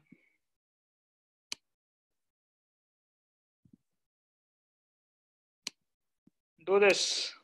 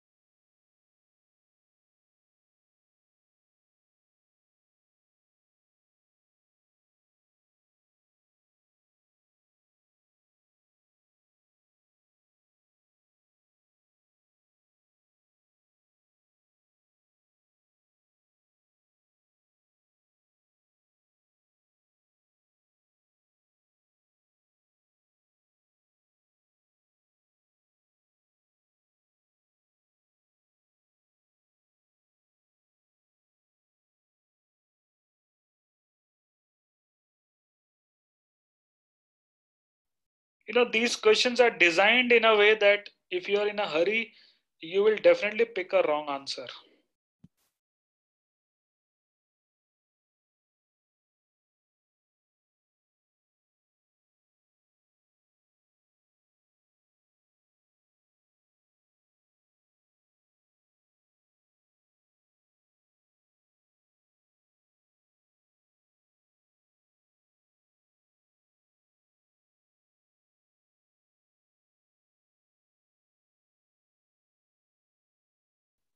i'm getting all sorts of answers.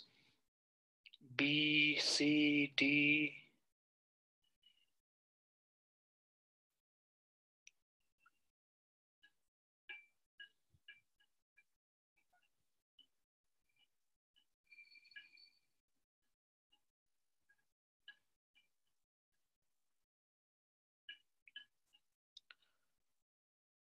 Okay all right let us discuss let us discuss the answer i'll tell the answer later definitely b is not the answer Those who got B and in a hurry, that is wrong. Okay. Fine. So in a photoemissive cell, what is photoemissive cell? The photons, when uh, it is hit, it'll create electrons. With exciting wavelength lambda, the maximum kinetic energy is K. So we can write K is equal to H C by lambda minus work function. Okay. If exciting wavelength is changed to 3 lambda by 4, then the kinetic energy will be what? Let's say it is K1, this is K2. Now it is 3 lambda by 4, so it will become 4 HC 4 by 3, this thing, minus 5. Okay. I want to compare K1 and K2, right? How will I compare? I'll just subtract K1 and K2. So I will get K2 minus K1 to be equal to uh, mm, okay. All right. They want to compare with 4k by 3, right? So I'll multiply 4k by 3.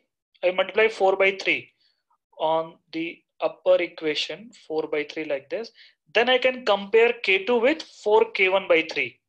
So 4k1 by 3 minus k2 is equal to uh, this is minus minus is plus so minus 5 by 3 okay? So looks like k2 is more than 4 k1 by 3 that is the reason why when i subtract k2 from 4 k1 by 3 i'm getting negative. So that's why option d. Everybody understood those who told b is the answer? Yes, sir. So you are in a hurry. You are not even seeing that there is a minus over here, this thing. Okay.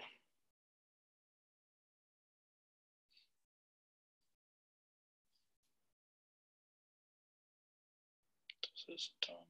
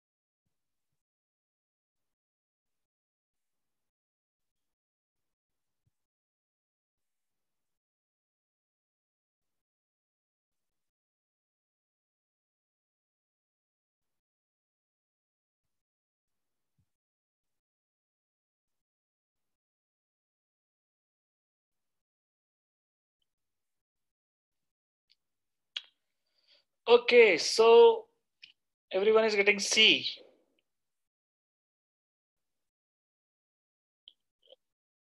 Let us see. So we have K equal to HC by lambda minus phi. Phi depends on the surface, which remains same for both, for all three. So K is E times V. So E times V1 is HC by lambda 1 minus phi E times V2 HC by lambda 2 minus phi E times V3 is equal to HC by lambda 3 minus phi. So we know that eh, over here it is V1, V2, V3 are in arithmetic progression. So 2 times of V2 is equal to V1 plus V2. All right. So if I add this, sorry, V1 plus V3. If I add these two, it will be 2 times of this left hand side. So you will also get 2 times of lambda 2 is equal to 1 by lambda 1 plus 1 by lambda 3, which is harmonic mean. So yes, you guys are correct. Option C.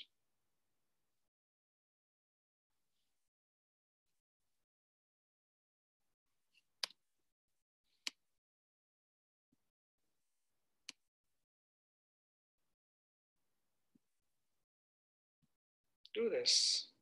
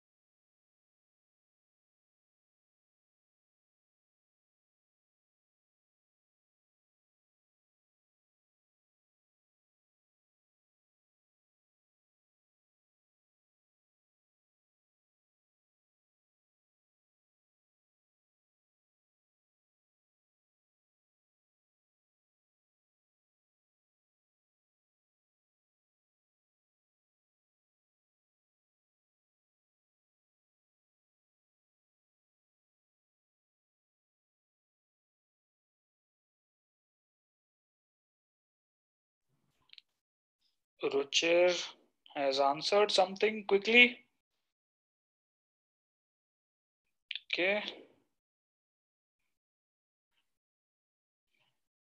ये तो option में ही नहीं है Ruchir which option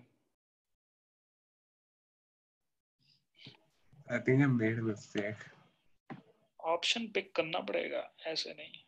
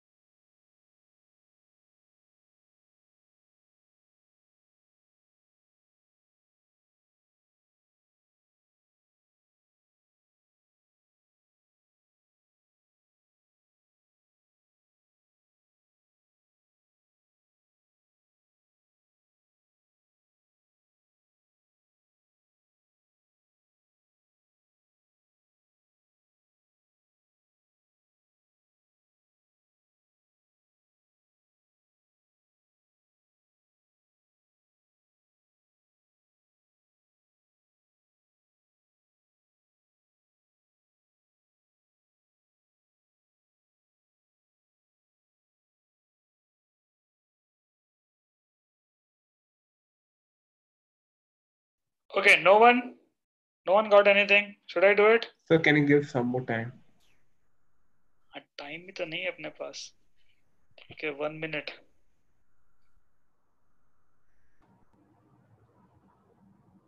anybody close to the answer I got an Getting answer, but it's stuck not in towards the document, last. So I don't know what's wrong. अच्छा answer आ गया option में ही नहीं है Yes, sir. that's like no that's very frustrating right? An objective question. Spend so much time. Okay ruchir parekh got some option. Chaitanya got something. Anush got something.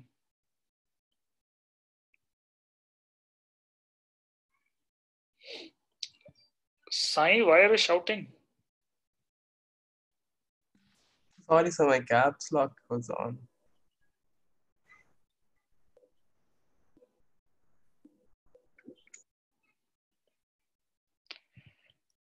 All right, let me do it now. Many of you have already answered. Light beam has total intensity of this. Falls on an iron piece of area this.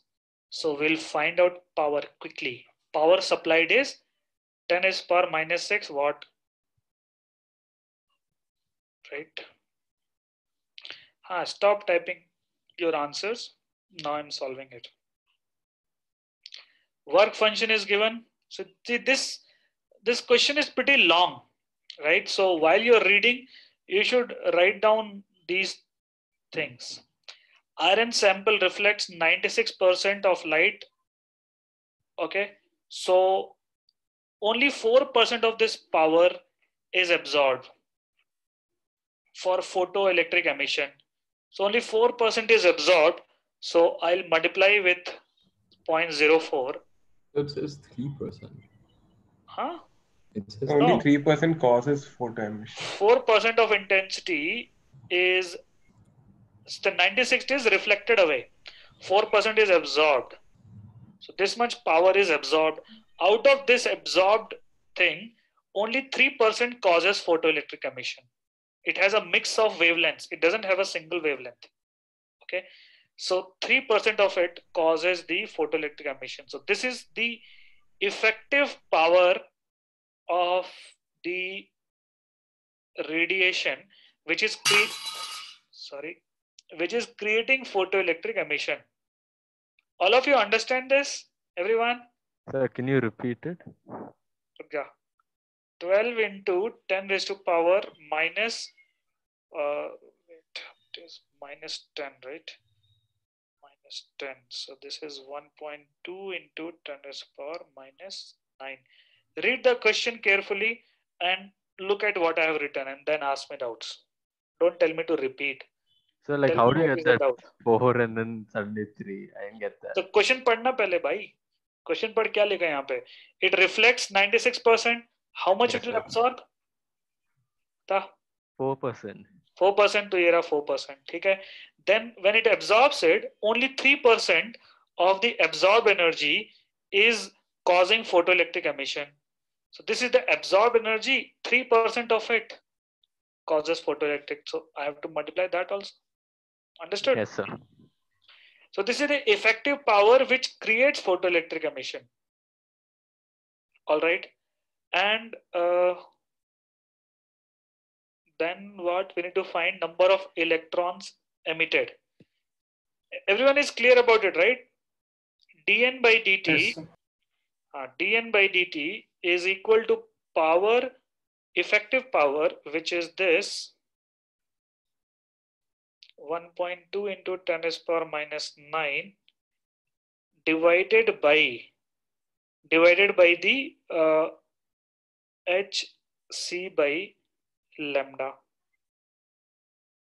okay wavelength is 250 nanometer so i can use that electron volt thing so 1242 divided by 250 electron volt. So 1.6 into 10 to minus 19, convert that into joules. How much it is? So won't we subtract the work function there, the energy? Work function, why you have to subtract? From where you get that? Why you have to subtract? So because we need to check the total energy consumed. So the number of electrons emitted, so that's why. Ah, so number of electrons emitted will be number of uh, photons that are hitting. One photon, one electron. What is the problem?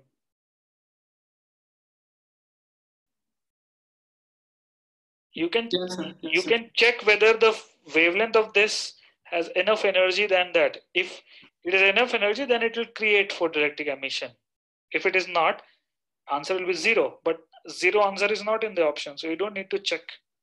So dn by dt is what? Do this. Everybody un- understood, right? Yes, sir. हाँ, तो कितना answer आ रहा है बता dn by dt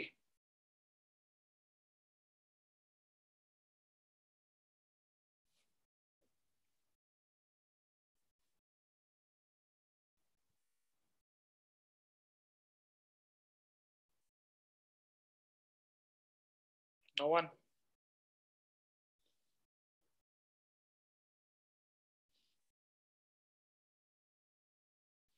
Anybody doing it? So I'm still confused in the last. Pehle answer, answer. Pehle answer. Batao. Okay. Then. Discuss.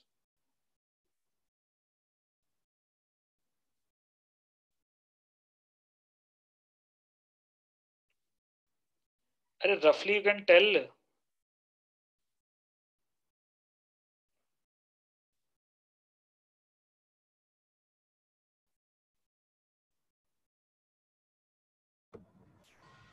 1.5 into 10 power 10.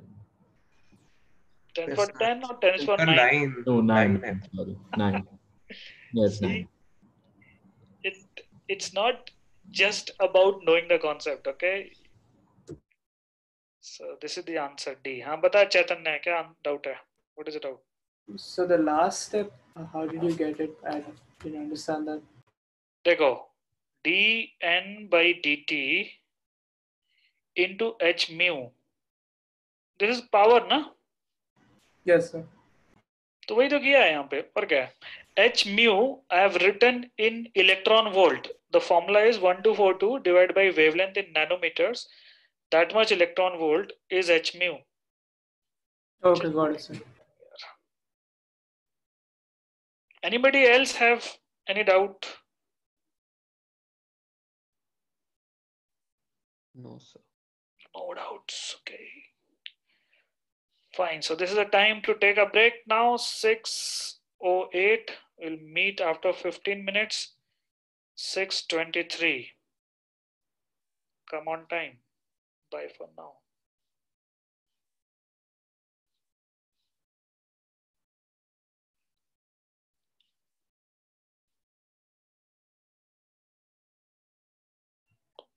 Start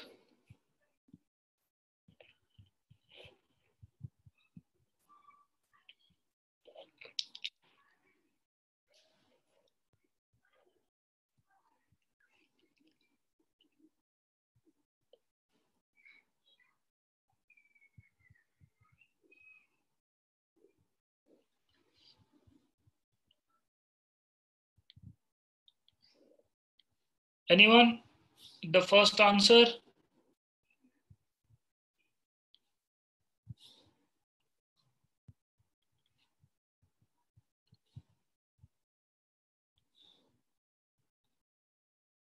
So is it six? um So I got six, but then I'm thinking it's n squared by z, right? So it should. It should be too early. tell me one answer or just message me your answer okay? Don't speak out. Everybody else is also doing it.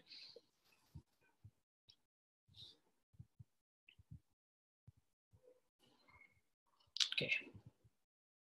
Fine. So looks like uh, everybody has tried. The angular momentum is 3h by 2 pi so quantum number is how much n is equal to Three.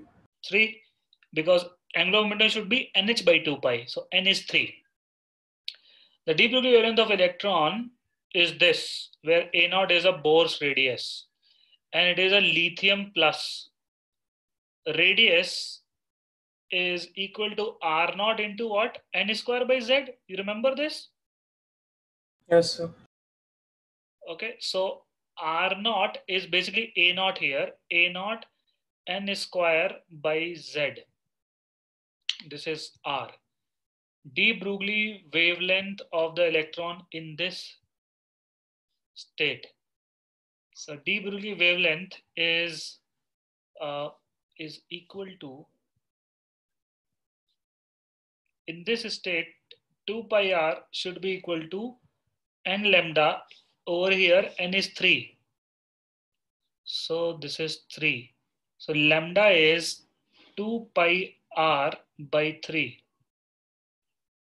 okay you can also get de Broglie wavelength as h by mv like that you can proceed and multiply r numerator and denominator. So mvr is nh by 2 pi. So you'll get this mvr you multiply r numerator denominator mvr is nh by 2 pi. So like this you can arrive at wavelength to be this. You don't need to uh, find out the velocity and all okay? This is your wavelength lambda. And r is basically a naught n square which is 3 square by z. Z is what? Z is 3 isn't it? So it will get cancelled away like this. So lambda is uh, equal to 2 pi a naught. So the value of p is 2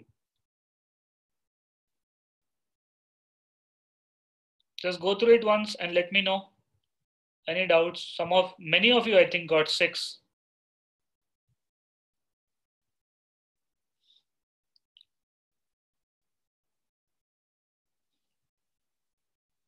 Okay. Understood, right? This one? Yes, sir. Second question, what is the answer? So it's one. So slope is same for Slope is same, Yes, sir. right? If Yes, sir. if there is any doubt, don't guess. Better you do it your own. Like this, k is equal to h nu minus phi. K is E times stopping potential. H nu minus phi. You will get V is equal to H by E times nu minus phi by E. So you can see slope is H by E only, no matter what is the value of phi. So it is slope will be same for both. That's why one is to one. These are JEE advanced questions from this chapter. Actual questions.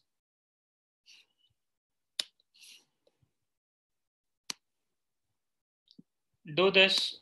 You might be knowing how to solve it, but here it is about accuracy and speed. So let's see who get the correct answer first.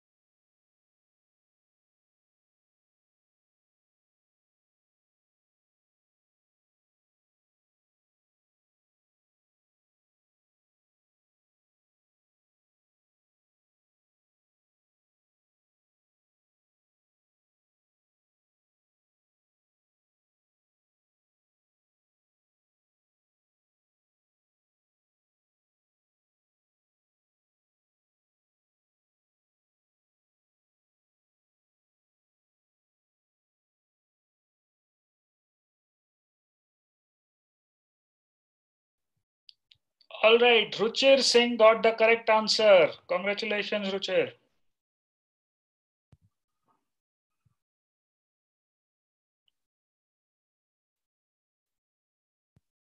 Only Ruchir Singh got it correct till now.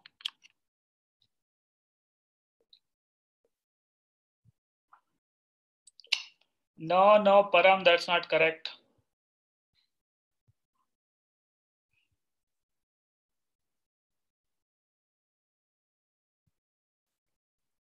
Hc by lambda is 1242 divided by 200 6.21 electron volt param do your calculation correct. 1242 by lambda. Just do that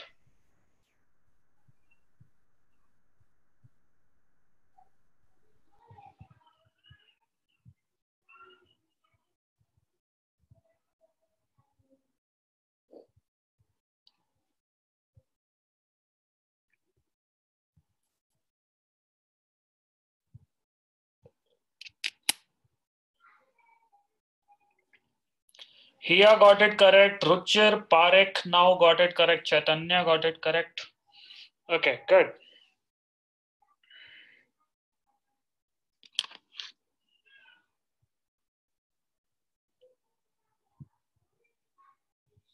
Photon's energy is more than 6 electron volt corresponding to this. Photoelectric emission will happen to start with but it will stop because the isolated sphere will slowly and slowly lose electron and become positive charge. So if potential which uh, sphere generate is V, it will act like a stopping potential.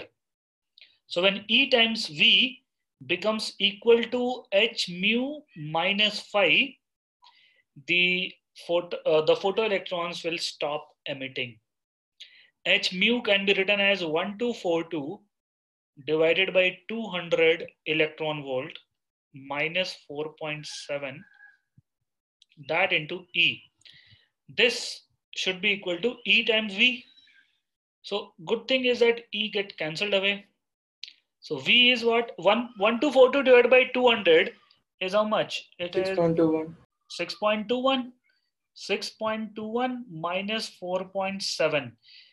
Uh, this much should be the potential this is equal to number of electrons n into charge of an electron 1.6 into 10 to the power minus 19 uh, divided by 1 by 4 pi epsilon naught which is 9 into 10 to the power 9 divided by the radius which is 10 to the power minus 2 so when you simplify all of this um, you will get n to be equal to 7 into no, wait, wait, wait. You will get uh, like this. You know, you don't need to even get the exact expression. You should just make sure that the the thing A is between 1 and 10. Okay, so I'm sure you might be getting something like this inside the bracket into 10 raised to the power 7. So the value of Z is 7. Okay. Everybody understood? Okay, all right, we'll proceed forward.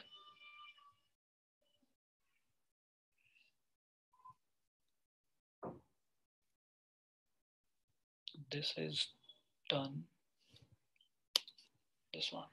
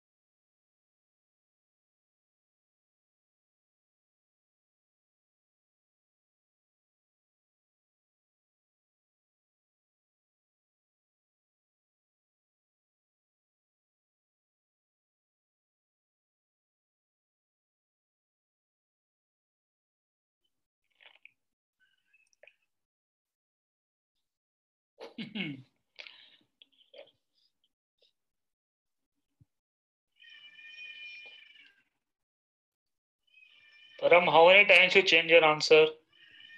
So I didn't see electron and photon. I thought both were the same. So No, I- no. I'm asking how many times today have you changed the answer? at least like eight times. Almost every question.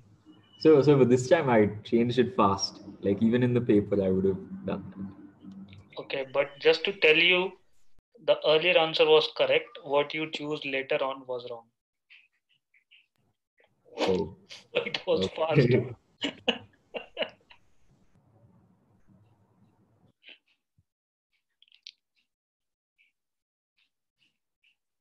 Okay, others?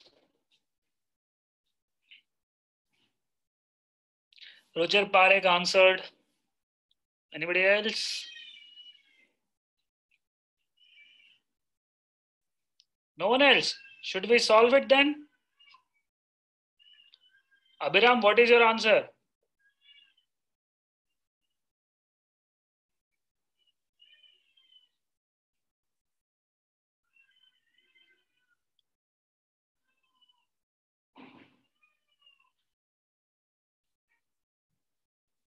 All right, so let's proceed. A photon collides with a stationary hydrogen atom in a ground state inal- inelastically. Inelastically means what? The photon will get uh, absorbed inside the hydrogen atom. Okay, and the mass of hydrogen atom is so big that you can ignore the final velocity after the collision. Okay, as if nothing is there just a single photon h by lambda the uh, h by lambda is so less. Energy of colliding photon is given 10.2 electron volt. After a time interval of order of microsecond another photon collides. But before that what will happen? If 10.2 electron volt is colliding it will go from n equal to 1 to 2 or not? The electron inside the hydrogen atom will do this or not? First collision everyone. Yes, sir. Yes, sir. as soon as it does this immediately it will be back from n equal to 2 to n equal to 1 and emit a photon back. It will not even wait for a microsecond. It happens in the order of 10 to the power minus 8 second around. Okay? It is written in your ncert book somewhere. Sir, but in- anyway uh, sir, in in this question, why aren't we using that thing that we did last class?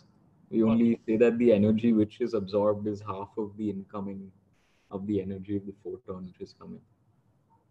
No, there it was, uh, you know, number of photons, let's say are five, six, sorry. Then out of six, three will be reflected and three will be absorbed. Inelastically collision with only a single photon, it means that it, it ab- absorbs. What is inelastic collision? It absorbs. Okay. And it's a single photon only. Earlier, there were multiple photons. Half of it will be absorbed. So That was actually neutrons, sir. That's why. And they said same mass. Yeah, so yeah, I just yeah, I saw that. Oh, you're talking about some other question, is it? Which one? So last class we were doing. Oh, the- last class. Wo Yeah, yeah, yeah. So there, the neutron was hitting hydrogen atom, almost same mass. Okay. Yes. So here, there you need to. You can't assume finally everything is at rest. Here you can assume. All right. So it will emit a photon of 10.2 electron volt. That is for sure. So now what happens? It comes to ground state and then absorbs 15 electron volt. What will happen if it absorbs 15 electron volt? So 13.6 will get wasted to come out of the atom, and then after that, 1.4 electron volt will. Uh, kinetic energy of the emitted electron is 1.4 electron volts. So a photon and one electron of this much kinetic energy. So option C. Okay. Fine, let's proceed.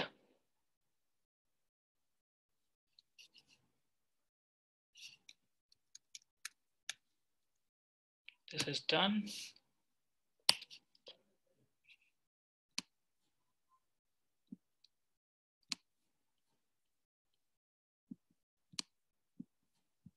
This is again a JEE advanced question. Came in 2005.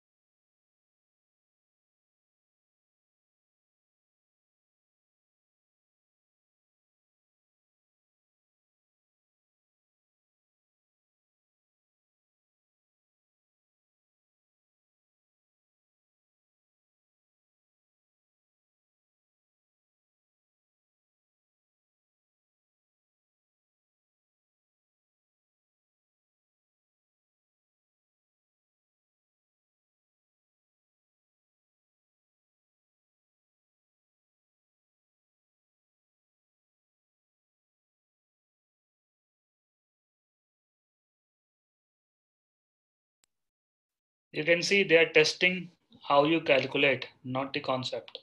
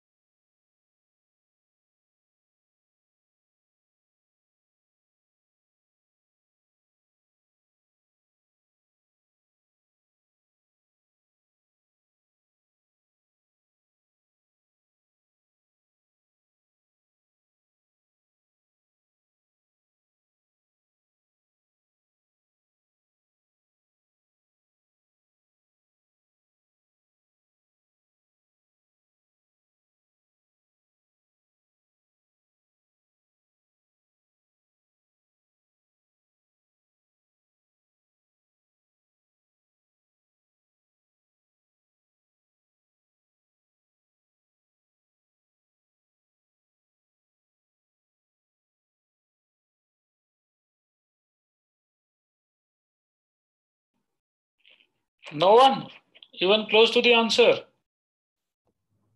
I got something that can't be correct. How much? Message. But I got yeah, fine.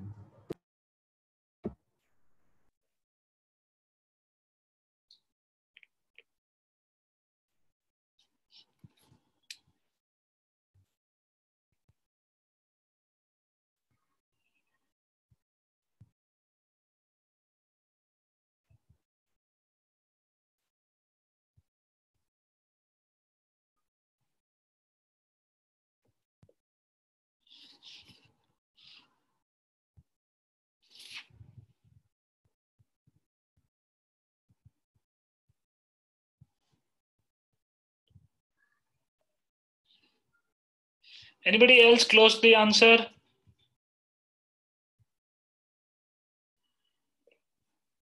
Nobody else? Should we solve? I texted it. Others? Okay. So nth line of Lyman series, the wavelength is what? 1 by lambda is Rydberg constant into, it is a hydrogen-like element. Okay, so So, Then- so can I change my answer? uh, I didn't see nth line. I put n value. 1 by 1 square minus 1 by n square. This is 1 by lambda. Okay. This is 1 by lambda and uh, lambda is equal to h by mv also. It should be the uh, de Broglie wavelength of electron in the initial orbit of hydrogen. Initial orbit is n equal to 1. So lambda is equal to, I multiply r both sides, mvr, and it is a first orbit. So mvr is nh by 2 pi, n is 1. So h by 2 pi. So lambda is 2 pi r. Okay. Now r, you know what is it. r in the first orbit is 0.53 into 10 raised to the power minus 10. Okay, this is your r. This is your Sir? lambda. Isn't lambda missing one n n by n? What? So it N should be nh by 2 pi, right? Array, this is initial orbit, na? n is equal to 1. No, but the radius is going to be this divided by 11, right? Oh, n by z. Sorry, correct, correct. Radius ra- radius is that n by z. Okay, so what did I do? Is this correct? This is how it is, right? So it's n square by z, but n is 1. n is 1, so this divided by 11. Correct? This is our uh, lambda. So I'm going to substitute this lambda over there, put the value of Rydberg constant, and then simplify the expression. And anybody good with the numbers will be able to find out that finally it will come out to be like this. n minus 1 by n is roughly equal to 25 this is what you will get and from this equation n is close to 25 only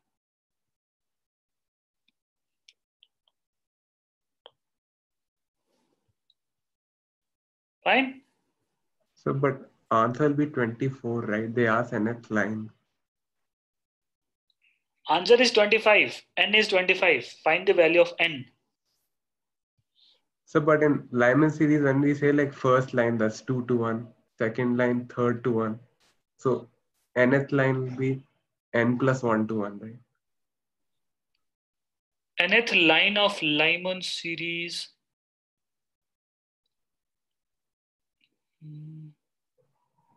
Like here we found the number of the shell. No, no, So- you're, you're correct. What, what you're trying to say is that uh, first line you're saying is n equal to 2 to 1. Second line is 3 to 1. So I'm saying n to 1. So this should be n minus 1. n minus 1 should be 25. Wait, so how did it become 25? It is approximate, Mehul. Uh, this is, there is no problem. Here there is no problem. What he's saying that for nth line, the value of n should be n plus 1. That, that's what he's saying, right? Yes, Oh, sir. okay, and the, okay, sir. we found the shell number. So nth will be 24, I think. Okay, I'll just check and come back to you. Nth, what is the meaning of nth line of Lyman series? Because the first line itself will have transition from 2 to 1, like what you're saying. But then nomenclature wise, I don't know how it is named because usually there is no logic as such. You know, we can you can name a- an- anything. For example, central maxima doesn't ex- central minima doesn't exist. Okay, so the n- nomenclature I have to see how it is written. So this is something I'll come back. Okay. But then logic wise, this is how you proceed. Okay.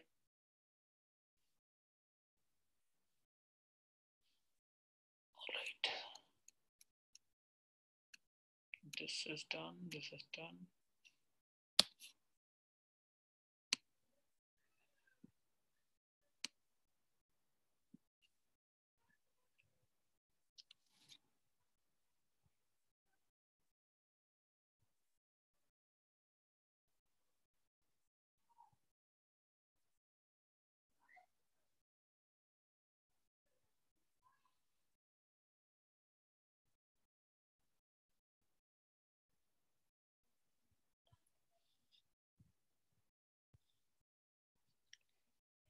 Yes, I just checked the value of n.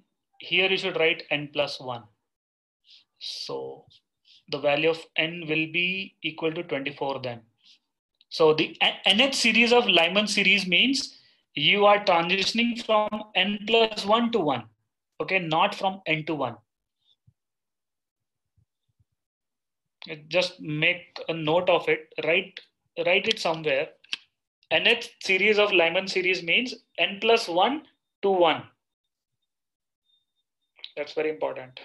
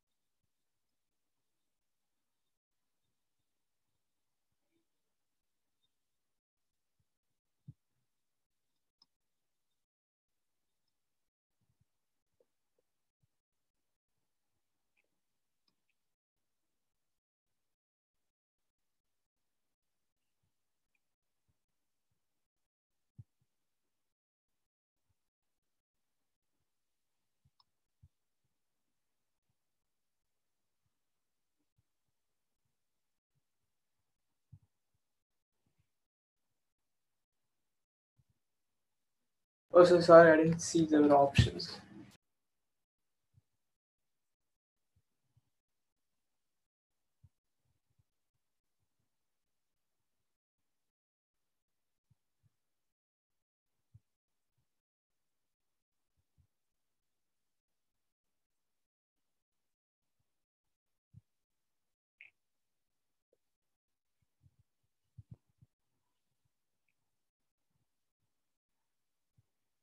Okay, anyone?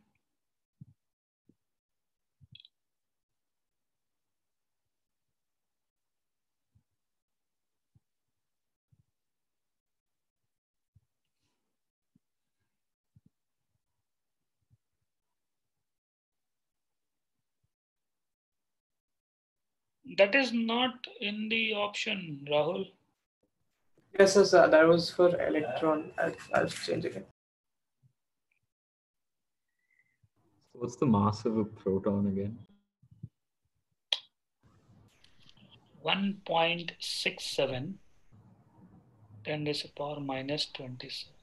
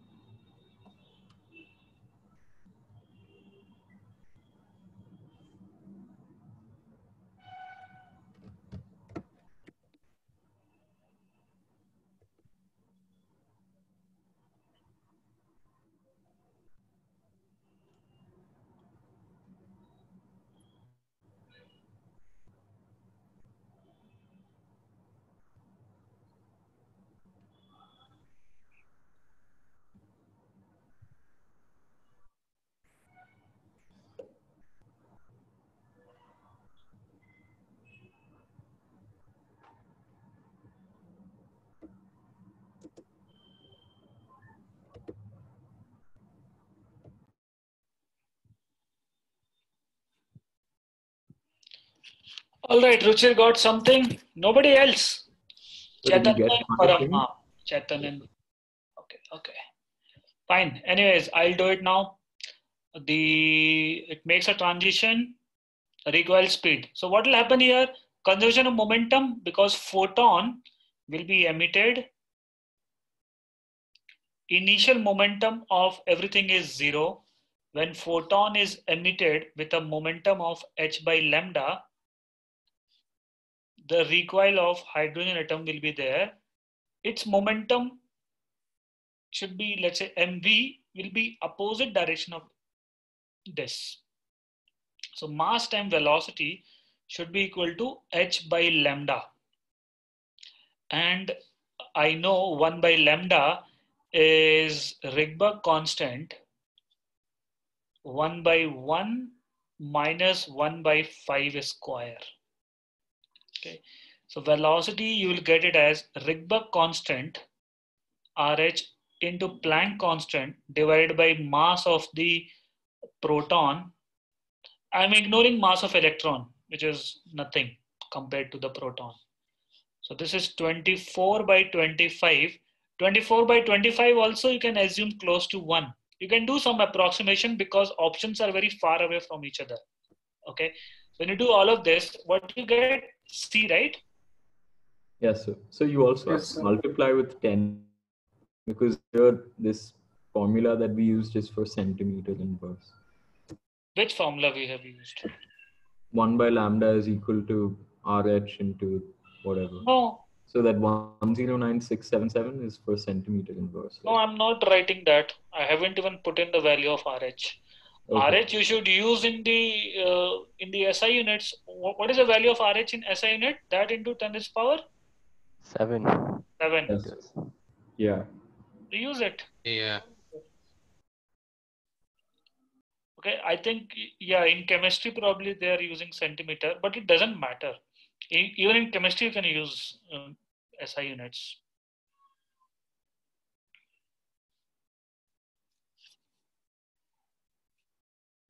Advic, getting it? आ रहे समझ में Edvik Edvik है कि गया Edvik है Advic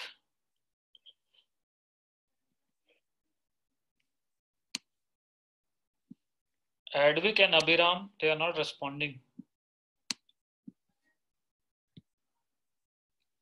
Do this.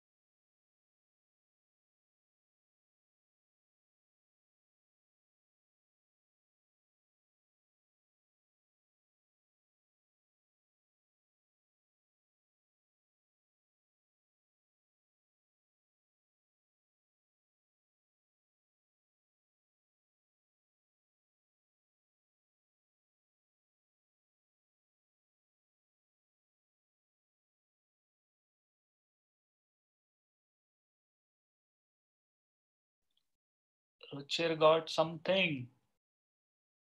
Others?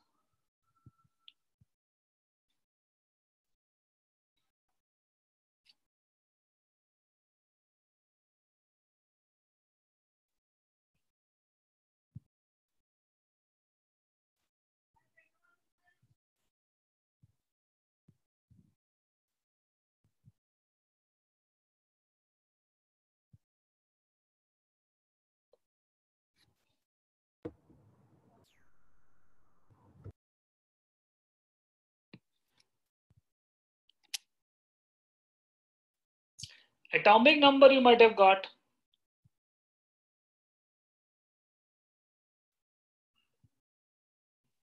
Markings you know, right? Plus 5, minus 2. One wrong option, you're gone.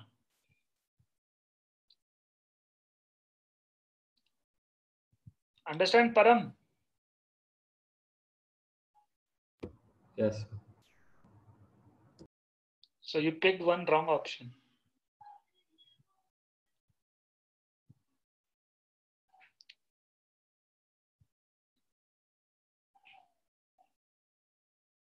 Okay. All right. Others?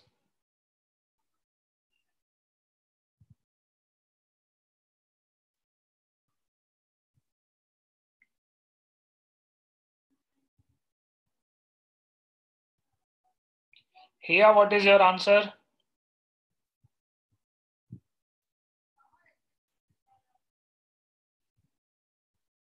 Akansha is also there. Akansha, what is your answer?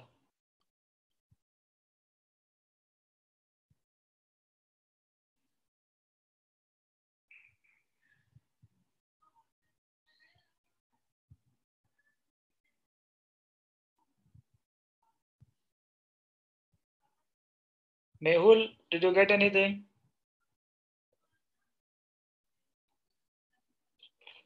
Mehul. No, sir. Okay, okay, okay. Fine. We'll do it now. A particular hydrogen-like atom has its ground state binding energy of this. All right, so ground state binding energy is this, which we know should be equal to 13.6 n square by z. No, wait. z square by n square. This is the energy, binding energy is when n is equal to 1. This is given as 122.4. So look at the option. You can directly use it. Check whether z equal to 3 satisfies this and it will. So option A is correct. Okay. Now look at option D. Electron of kinetic energy this much may emerge when 125 electron volt collide. Is this correct? Option D. It should be, right? I'm that's what I'm asking. Is it correct? Right, it is correct. So A, Yes, and, sir. A and D, two options are correct. Fine. So binding energy is this much. This energy is absorbed and balance will be emitted as a kinetic energy. Okay. Now let's see with B and C which one is correct. So let's look at what they're asking actually. One of them should be correct because um, no, no, no, they are different types. Anyways, electron of this much electron volt kinetic energy can be brought almost to rest by this atom. An electron of this can excite the atom at the room temperature. No, they are similar. Similar kind of options are there. So when electron is coming up, the mass of the electron is so less that you can assume that entire energy of electron will be absorbed. After collision, the velocity is almost zero. Okay. So if electron of some energy is absorbed or it excites it, the difference in energy level should be equal to 19.8 electron volt. So let us see energy levels. What are they? So energy at the ground state is 122.4 electron volt, right? Energy the second state, how much it is? How much it is? This divided by 2 square, how much? Somewhere around 30. Exactly, bata. how much? So 30.6. 30.6 electron volt. What is the difference between E1 and E2? So 91.8 91.8 electron volt. So it can absorb this much kinetic energy and it will excite and the uh, it will be at rest because entire energy is transferred. So this is C is also correct. Okay. Now is B correct? Electron of 90 volt, 90 volt as in 90 electron volt energy can excite. No, it is not possible because minimum energy required is 91.8 to go to the next level from ground state, right? So that's why options A, C, D, they are correct. Understood, Param? Yes, so that I always remember the difference in one and two as 10. So I just multiplied with nine and yeah, Ah. 10.2. Correct. Yeah. Got it wrong, no? Yes, sir. Lack of exam practice. Yes. That's how you can blame it on something else. lack of exam practice and uh, maybe a little bit of overconfidence is there. Confidence is good but uh, make sure you're grounded. Otherwise you'll make a lot of silly errors. And these are these questions are like trap. The moment you are slack little bit you're gone. So you might have counted number of silly errors you have made today. Have you Too many, so it is easy to count number of non silly i mean number of correct ones. Even though you know how to solve see how slippery these questions are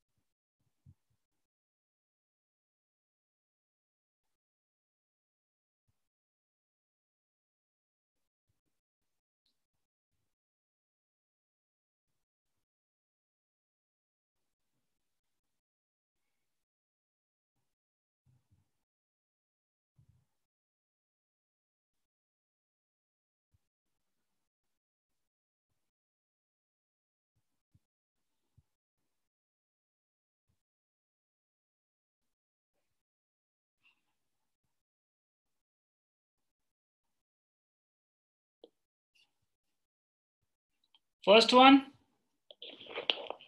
First one. Acha, by the way, this is n 1 by n to the power 3 by 2.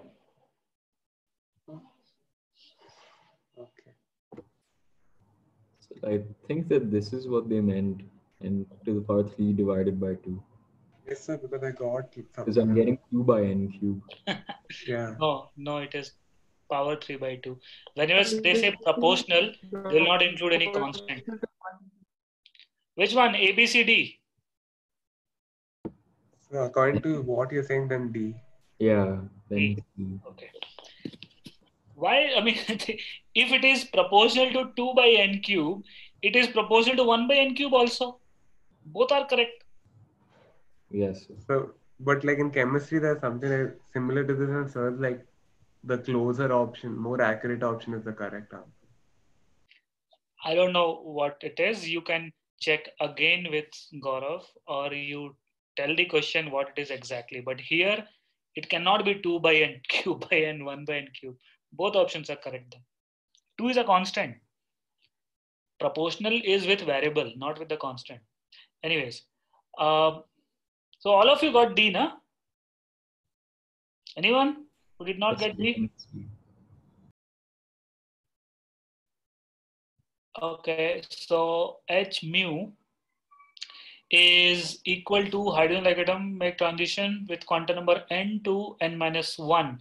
So H nu is 13.6 electron volt Z square 1 by n square minus no 1 by n minus 1 whole square minus 1 by n square. So you'll get frequency is equal to some constant times 1 by n minus 1 whole square this. So frequency is that 2n minus 1 divided by n into n minus 1 whole square. 1 is very less compared to n. So I'll ignore this and this. So it will be k2n n divided by n to the power 4. So it will be 2k is another constant. Let's say constant is c divided by n cube. So c. This one,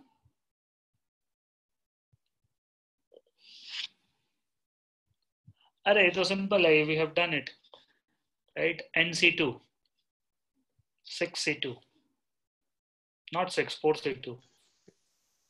Yeah, 4C2.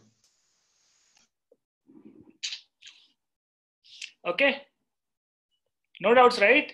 We'll proceed.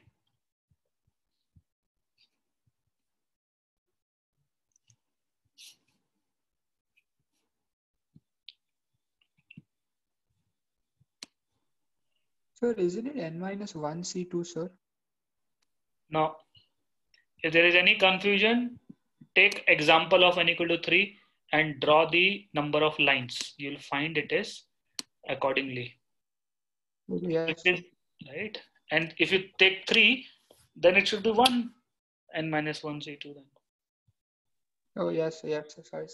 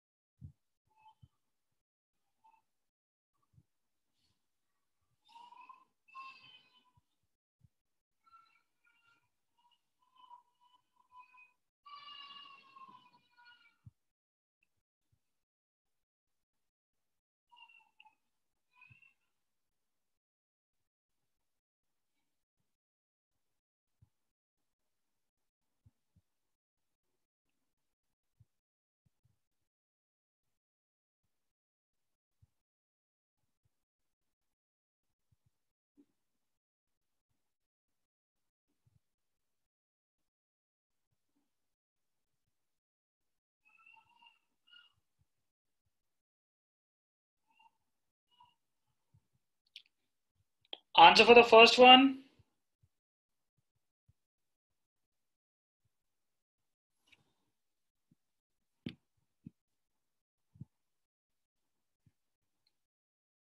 Different answers people are giving.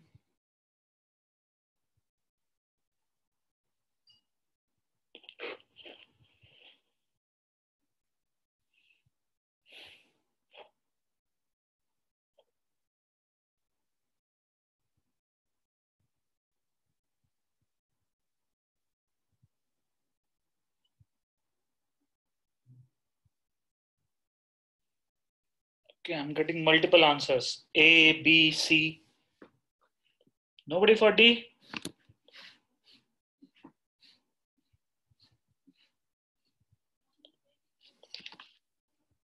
How much energy, how much energy hydrogen can give right now?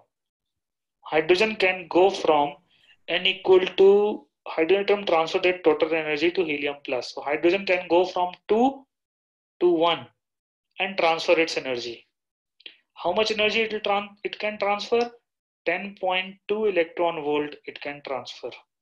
Okay, right now helium is at energy level of uh, helium correspond to n equal to 2.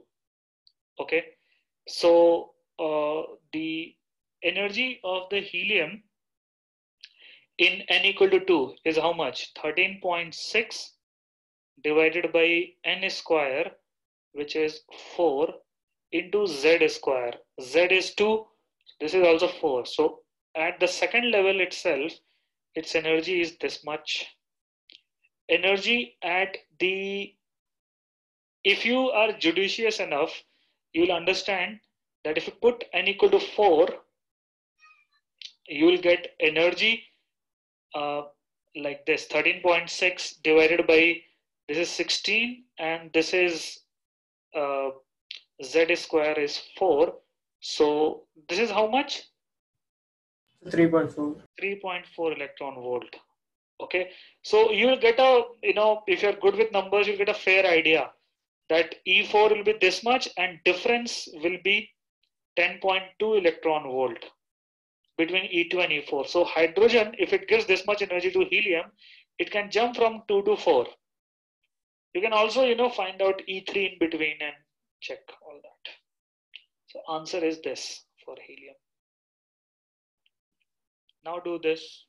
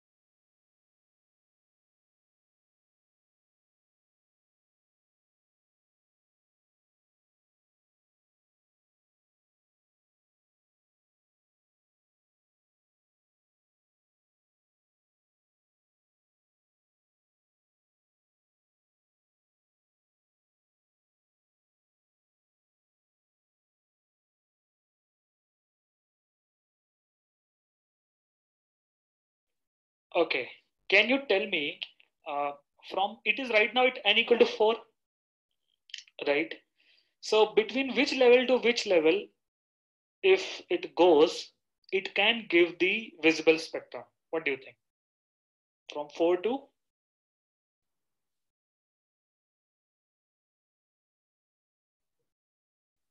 What is E3 by the way? E3 is how much? Anybody calculated? There's how many electron volts?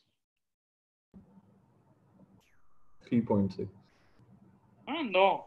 No, uh, no, sorry. Uh, 4.5. yeah. 4.5 electron volt. Okay. So jumping from 4.5 to 2, it's like a Lyman series. It will emit ultraviolet spectrum. So the gap is big. It is almost like 10. Okay. But then this jump could lead to visible spectrum 4 to 3. So you need to uh, you know analyze the situation. You can't just blindly go there. Otherwise you know the kind of calculation you become mad. So e4 minus e3 can emit the visible spectrum because this gap 4.5 and 3.4 this gap looks like a Lyman series gap which is very less. So here you get the wavelength which I guess I'm not very sure about the answer though uh, let me find out what I have as the answer. But again, not 100% sure. No, there is a. I have given the same question to other batch. There was a tie between C and D. So just check, okay? E4 minus E3, whatever wavelength they emit, that is the answer, right? Now do this one.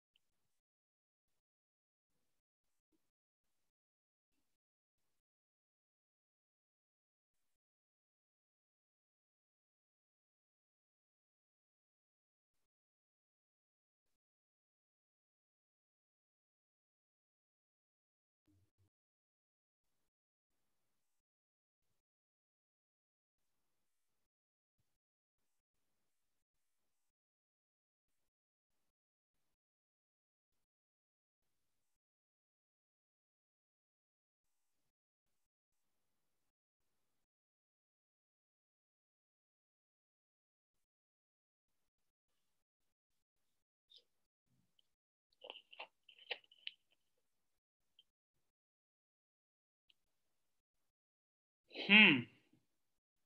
Now, kinetic energy will be how much in terms of total energy? What will be the kinetic energy?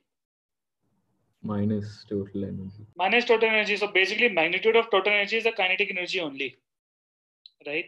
So the formula 13.6 uh, z square by n square is the formula for the kinetic energy as well.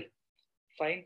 So for n equal to 2, kinetic energy for hydrogen atom is hydrogen atom's electron is this 2 square.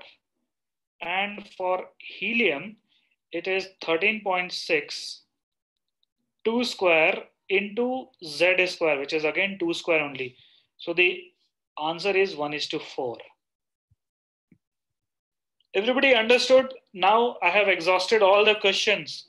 All right on these two chapters. So I have made sure that you are exposed to each and every type of problem. Now you'll not see any new kind of problem unless it is like out of the world kind of question. We have done every possible kind of question from these two chapters. Anyone has any doubt from these two chapters? Jaldi. No, sir. No. No, sir. No. So now we have only 30 minutes left. So it is not a good time to start a new chapter, right? So I would uh, think that maybe uh, you know we can solve some mechanics question for half an hour, and next class we can start nuclei. What do you think? Yes, sir. Okay, so what I'll do is that I have few questions which I know uh, they are slightly different types. So you may learn something new probably. So let us see.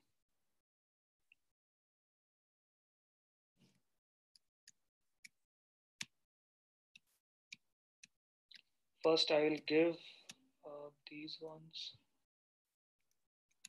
I'll take a little bit of time to identify this one.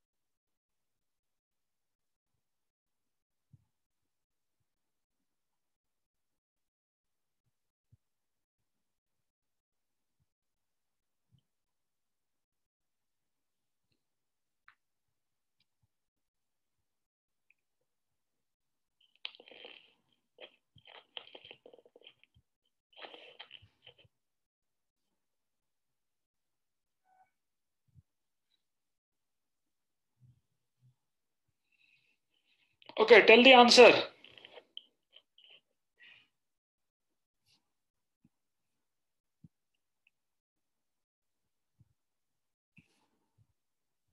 Correct. You don't need to even solve it. Option A is correct. Yes. Okay, rem remember these things that in oblique collision, what is oblique collision? So like two dimensional. Oblique collision is when the uh, line of velocities and the line of common normal when the collision happens, these two lines are not parallel to each other. Okay, so for example, this this ball comes and collides with that ball. So they will exert force on each other in this direction. But suppose line of velocity for this ball is this way. Okay, so this line of velocity is not along the line of common normal. So after collision, this ball will go like this and the other ball will start moving in other direction. That is what you do in carom board. So in oblique collision, the oblique collision between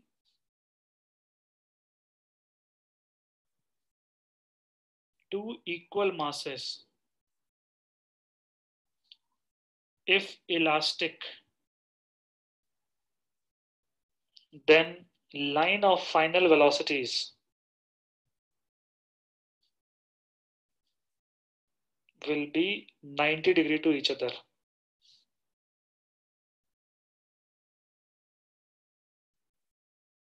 Okay, and if it is head on, then what we can say? In head on collision, what we can say?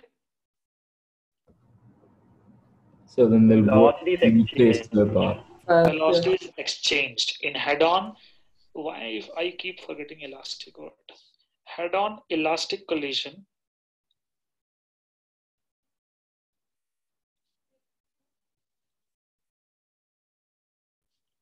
Velocities get exchanged. Okay. Remember these things. I thought i could just remind you we have done though all of this. You can check your notes and all. But we keep forgetting that this one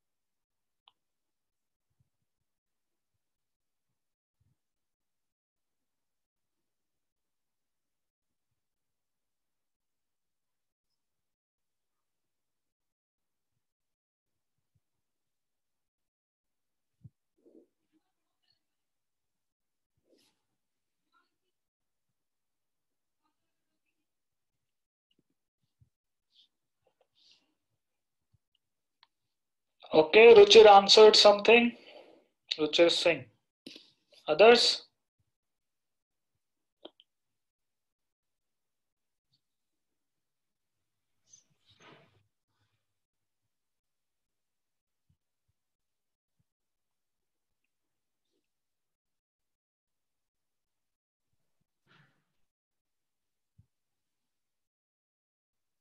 So that is for some old questions, sir.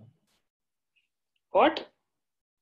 So that answer I had sent, that is some old question, I think. I didn't send any. We didn't send anything. Okay, okay. Send something. So just two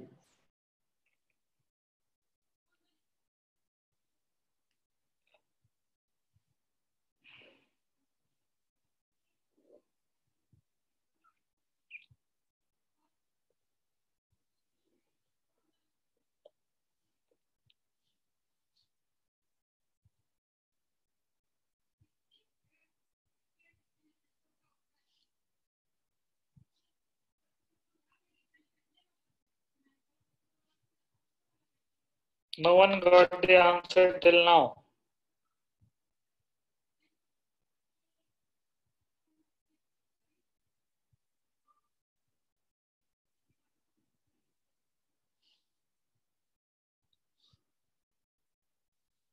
Okay, Param got something. I hope Param correct this time. This time I'm pretty sure. I took my Oh my God. Let us see.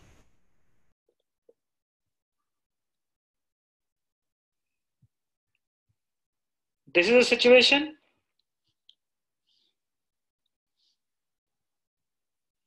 Ruchir Parekh got something. All right. All of you now focus here, everyone. So the second sphere B, B is at rest. Okay, A is moving. This is A, this is B. Right, uh, this guy, can I miss इसका Advik, correct? Advik, Akansha, are you guys there? So I don't think Advik can speak. He might. No, Advik can type, but Yes. Advik was not there for at least half an hour in his place. Advik. Akansha is not there, looks like. I don't know when this corona will get over.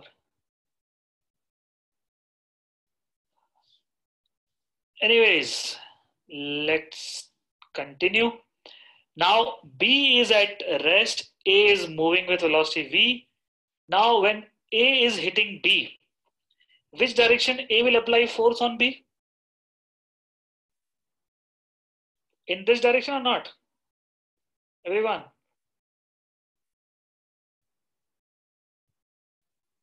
Yes, sir. So Yes. sir. Sir, we can hear you. after, after collision, uh, Rajdeep is back now. So after collision, B will go in this direction or not because it was at rest. So whichever direction B will experience force, it will go in that direction. There's a velocity of B after collision. Which direction A will go after collision?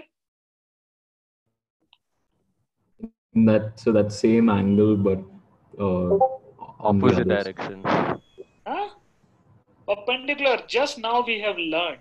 Wait, yeah, yeah, Yes, yeah. that's yes, even I perpen- thought. Perpendicular. perpendicular it will travel like this this is velocity of a okay now this angle theta this is this is theta how to get that theta this perpendicular distance is given to us as r by 2 so i can get sine of theta how much it will be r by 2 divided by this distance center to center which is 2R. 2r. So sine theta is 1 by 4. Okay. Now, can I conserve momentum along the red line? Because I want to find out velocity of B. So I'll conserve momentum along the red line. Can I do that? Yes. Right? There is no external force. So initial momentum along the red line is mv cos theta. This should be equal to now component of A's momentum along the red line is how much after collision? Zero, sir. Zero. This is equal to m into VB. So VB is equal to V cos theta. So sine theta is 1 by 4. So cos theta is root 15 by 4. Okay. This is what the answer is. So you can get it quickly also. no need to write some elaborate equations if you have these kind of ideas. I hope everybody understood.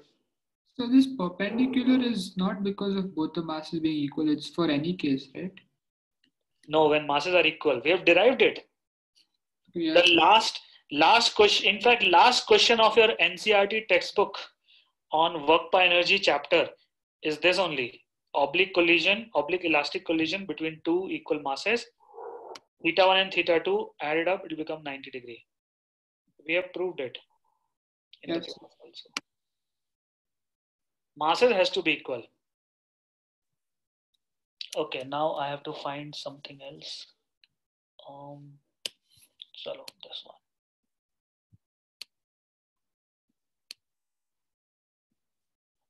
Abhiram, you can hear us?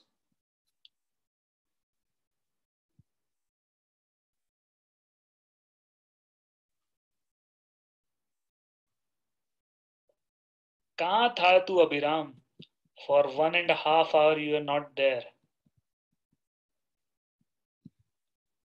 all of you solve this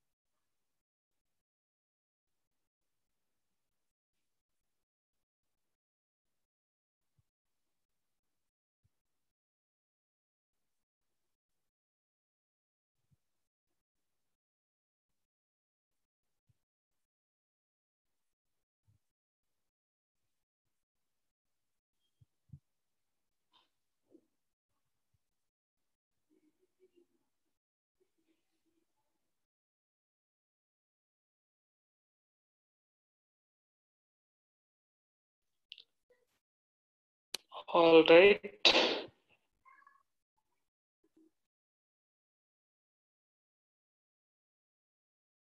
what is the trick here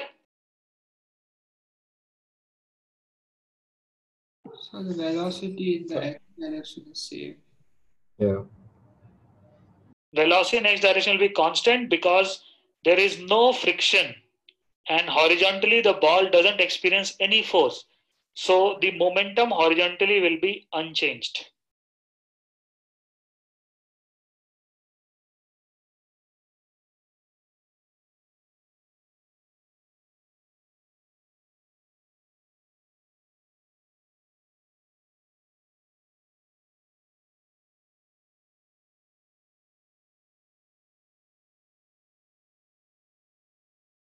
So we can't hear you. what? Say it again Oh, I thought. So I couldn't hear any. So was he speaking to them? no And I also didn't hear anything. no i was not speaking Okay, see. No, sir. I'm able to hear you. Mehul is able to hear me okay Can you talk louder? So now the along the horizontal direction, along the x-axis, momentum is unchanged. So mu sine 45 is a momentum horizontally. This should be equal to mv sine theta. So we have v sine theta equal to u by root 2, u sine 45. This is our first equation. And along the normal, I can use coefficient of restitution, right? So half should be equal to velocity of separation. How much it is? So v by root two. U by Yeah. root. Velocity separation, I'm asking. Half is equal to velocity separation by So V velocity cos theta. V cos theta by v U cos theta. After collision comes for separation velocity. Before collision is approach. Approach is u cos 45. Okay. So you will get u cos, sorry, v cos theta is equal to u divided by 2 root 2. Now they are asking about the kinetic energy. For that, you need to find V. So just square and add first and two equation. You get V square equal to U square by 2, 1 plus 1 by 4. So V square is basically 5 by 4 times, no, 5 by 8 times. Yes. V square is 5 by 8 times U square. So kinetic energy is also 5 by 8 times uh, the initial kinetic energy. So K2 is 5 by 8 times K1. So I have to find out K2 minus K1 divided by K1. Right? So it will be 3 by 8. Right? No doubts, right? So I have a doubt. Hmm, So uh, can you go back to the previous question? No, no, you ask. I remember all that. You Okay, copied, sir. na? Tell me. Yes, sir. So like if a ball like strikes uh, at a particular angle, isn't it with respect to the floor, the angle? Like in that case, it was equal, but generally, Equal uh, ball strike at an angle of 45. No, they should mention actually. Here, since it is equal, they have not mentioned it. Otherwise, in the question, they must mention the angle is with what? Got it? yes, sir. There should not be any ambiguity.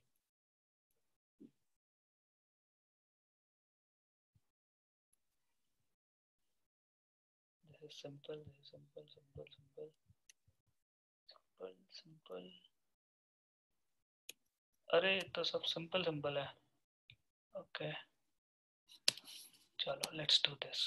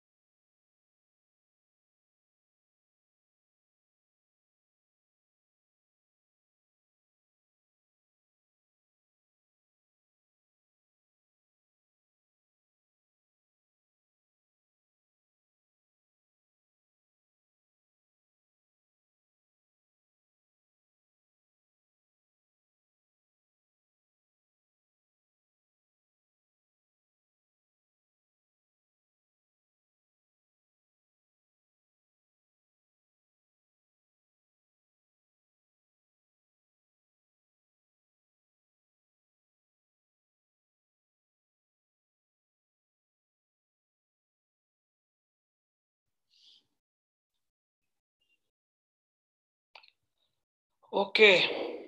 So just write down the equations, you know, if you are not getting the calculations. Tell me what all we can do here. By the time it comes down, what happens to the ring? Ring will start moving or not? Everyone. Yeah. Yeah. will go like, let's say this goes with V1, ring goes with V2. What I can do? Can I conserve momentum horizontally? Yes, sir. Right? I can conserve momentum horizontally. So zero, which was initial momentum, will be equal to m into V2 minus 2m into V1. Horizontally, there is no external force. So V2 is equal to 2 times of V1. This is our first equation. What else I can do here? Energy. So you can conserve energy, right? Energy Ah. conservation. work energy theorem, I can use this. I can assume gravitation potential energy to be zero. I'll write W equal to U2 plus K2 minus U1 plus K1. Of course, dissipative forces are not there. W is zero, but it is better to write a generic formula like this rather than U2 plus K2 is equal to U1 plus K1.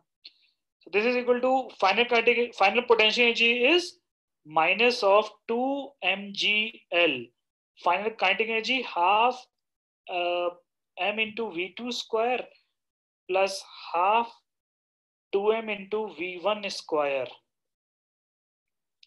Minus u1 is 0 k1 is 0 this will give us the answer these two equations. Got it? Everyone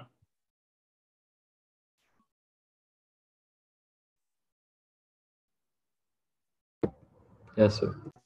Yes, sir.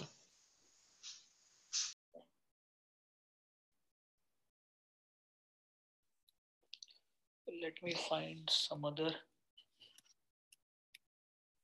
have we done this question have you seen this before Yes, sir. Yes, sir. Yes, sir.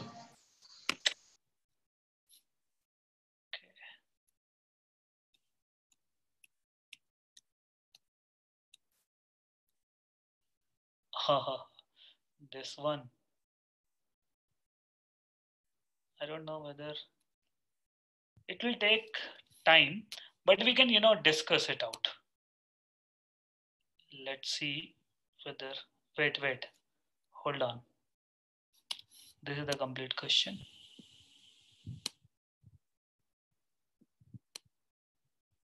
Read the question and tell me your views. We don't have enough time to attempt it. Just read it. Okay, we'll discuss it out as in the ideas, and after the class, you can attempt and post the solution on the group. All of you read the question.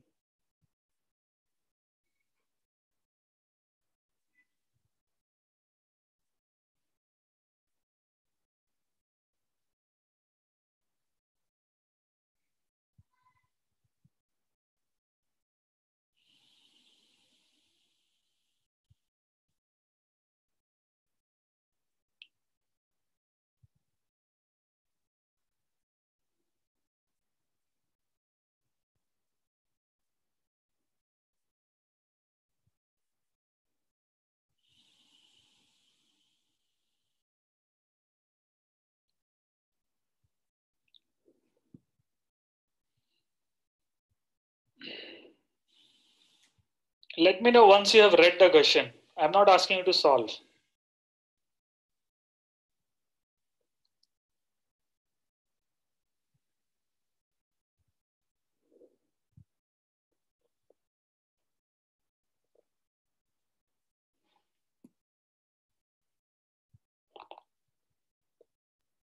There are two parts of the question. First part is the above paragraph.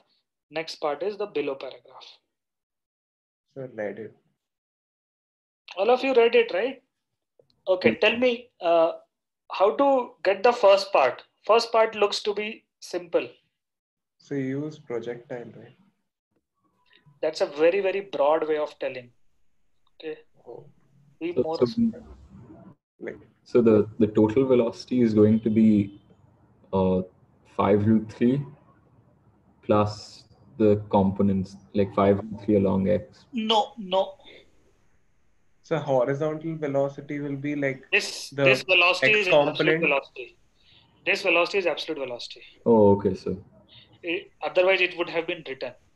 If it is not written, uh, every time I assume it to be absolute. Ah. Okay, sir. How will you get T naught now? Tell me. So it, it is becoming more simple, na? If it is absolute velocity. Yes, sir. So how will you get T So, naught? So, So so you you- take the x component and you add it to 5 root 3. That will be the horizontal velocity. Just now we discussed. Just now we discussed 10 meter per second is the uh, absolute velocity. Right. How will you get T naught? So, so then we find the like the minimum distance for which the maximum distance for which it'll hit. Uh, have No, they given no. us AB? Sir? No, no, no. That's not how you should do it. A to C is given. Can you use A to C?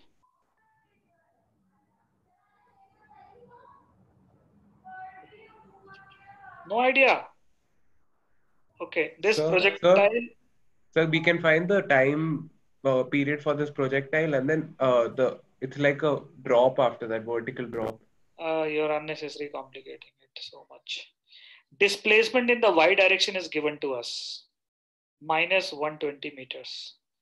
Just use s equal to ut plus half at square along y direction. ut plus half at square along the y axis sy ui ay. sy is minus 120. ui is uh, angle is given so 100 sine 30 into t, ay is minus 10.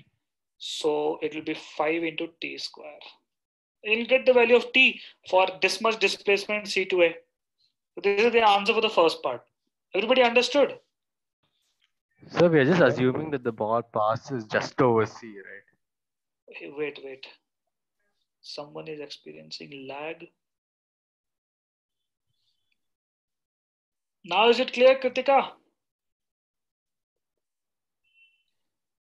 Yes, we are assuming that what? Say it again. It passes over C as in? So like um, No, no, no, Rajdeep, Raj, I think you got it wrong. See, what will happen is that definitely it will go up and then come down. Vertically, this is what the motion is. Displacement is how much? In this formula, Sy is not the distance, it is displacement. Displacement is always this much only, no matter how much above it goes. yes, I got it. Come back. Okay, so Rajdeep, the immediate feedback is revise uh, the projectile motion. Huh, tell me. So don't this time from this equation don't we have add it to the total time like the time period for that projectile? Because this is just the time for the fall from C to A. So there'll be two values. We I think we take the bigger one, right? Arik, I don't know why you're getting so much. No, this is this is it. That's all. Because U is This is going to the be answer. So there'll be two times, right? One time which Whatever it is, there might be one value which is not even possible. It you might you may get t equal to minus something. Okay, forget about it. But why there is a confusion that uh, you will not get the answer for t when it goes from here to here?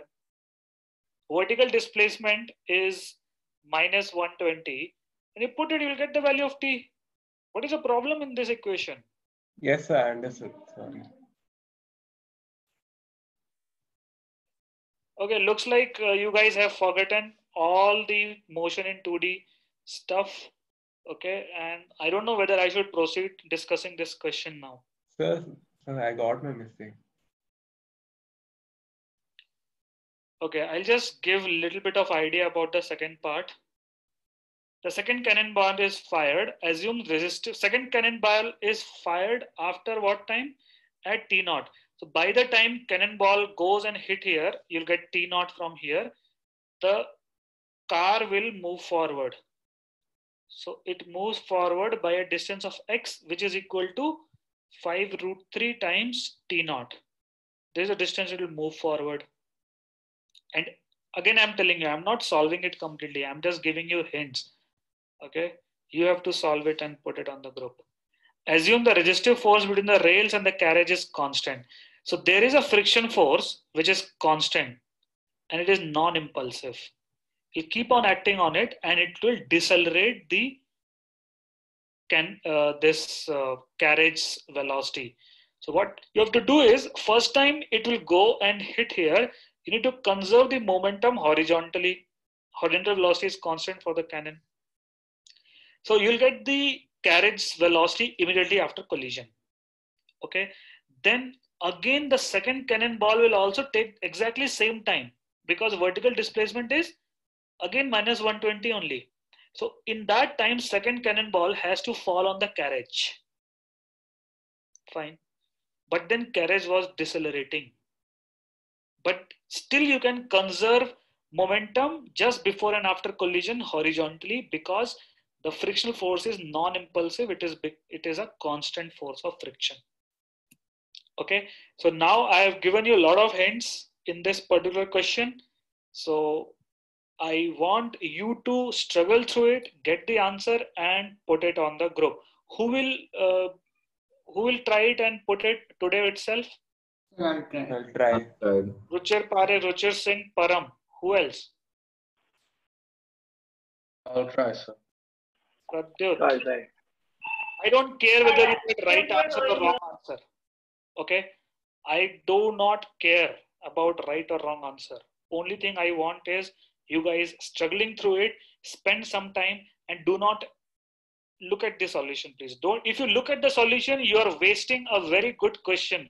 You wasted a good question you wasted your time you wasted uh, many things. Okay?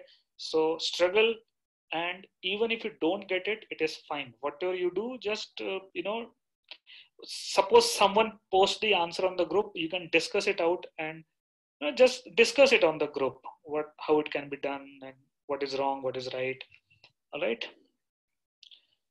Why carriage is decelerating? Because uh, it is written, na, the carriage is experiencing force of friction. Where it is written?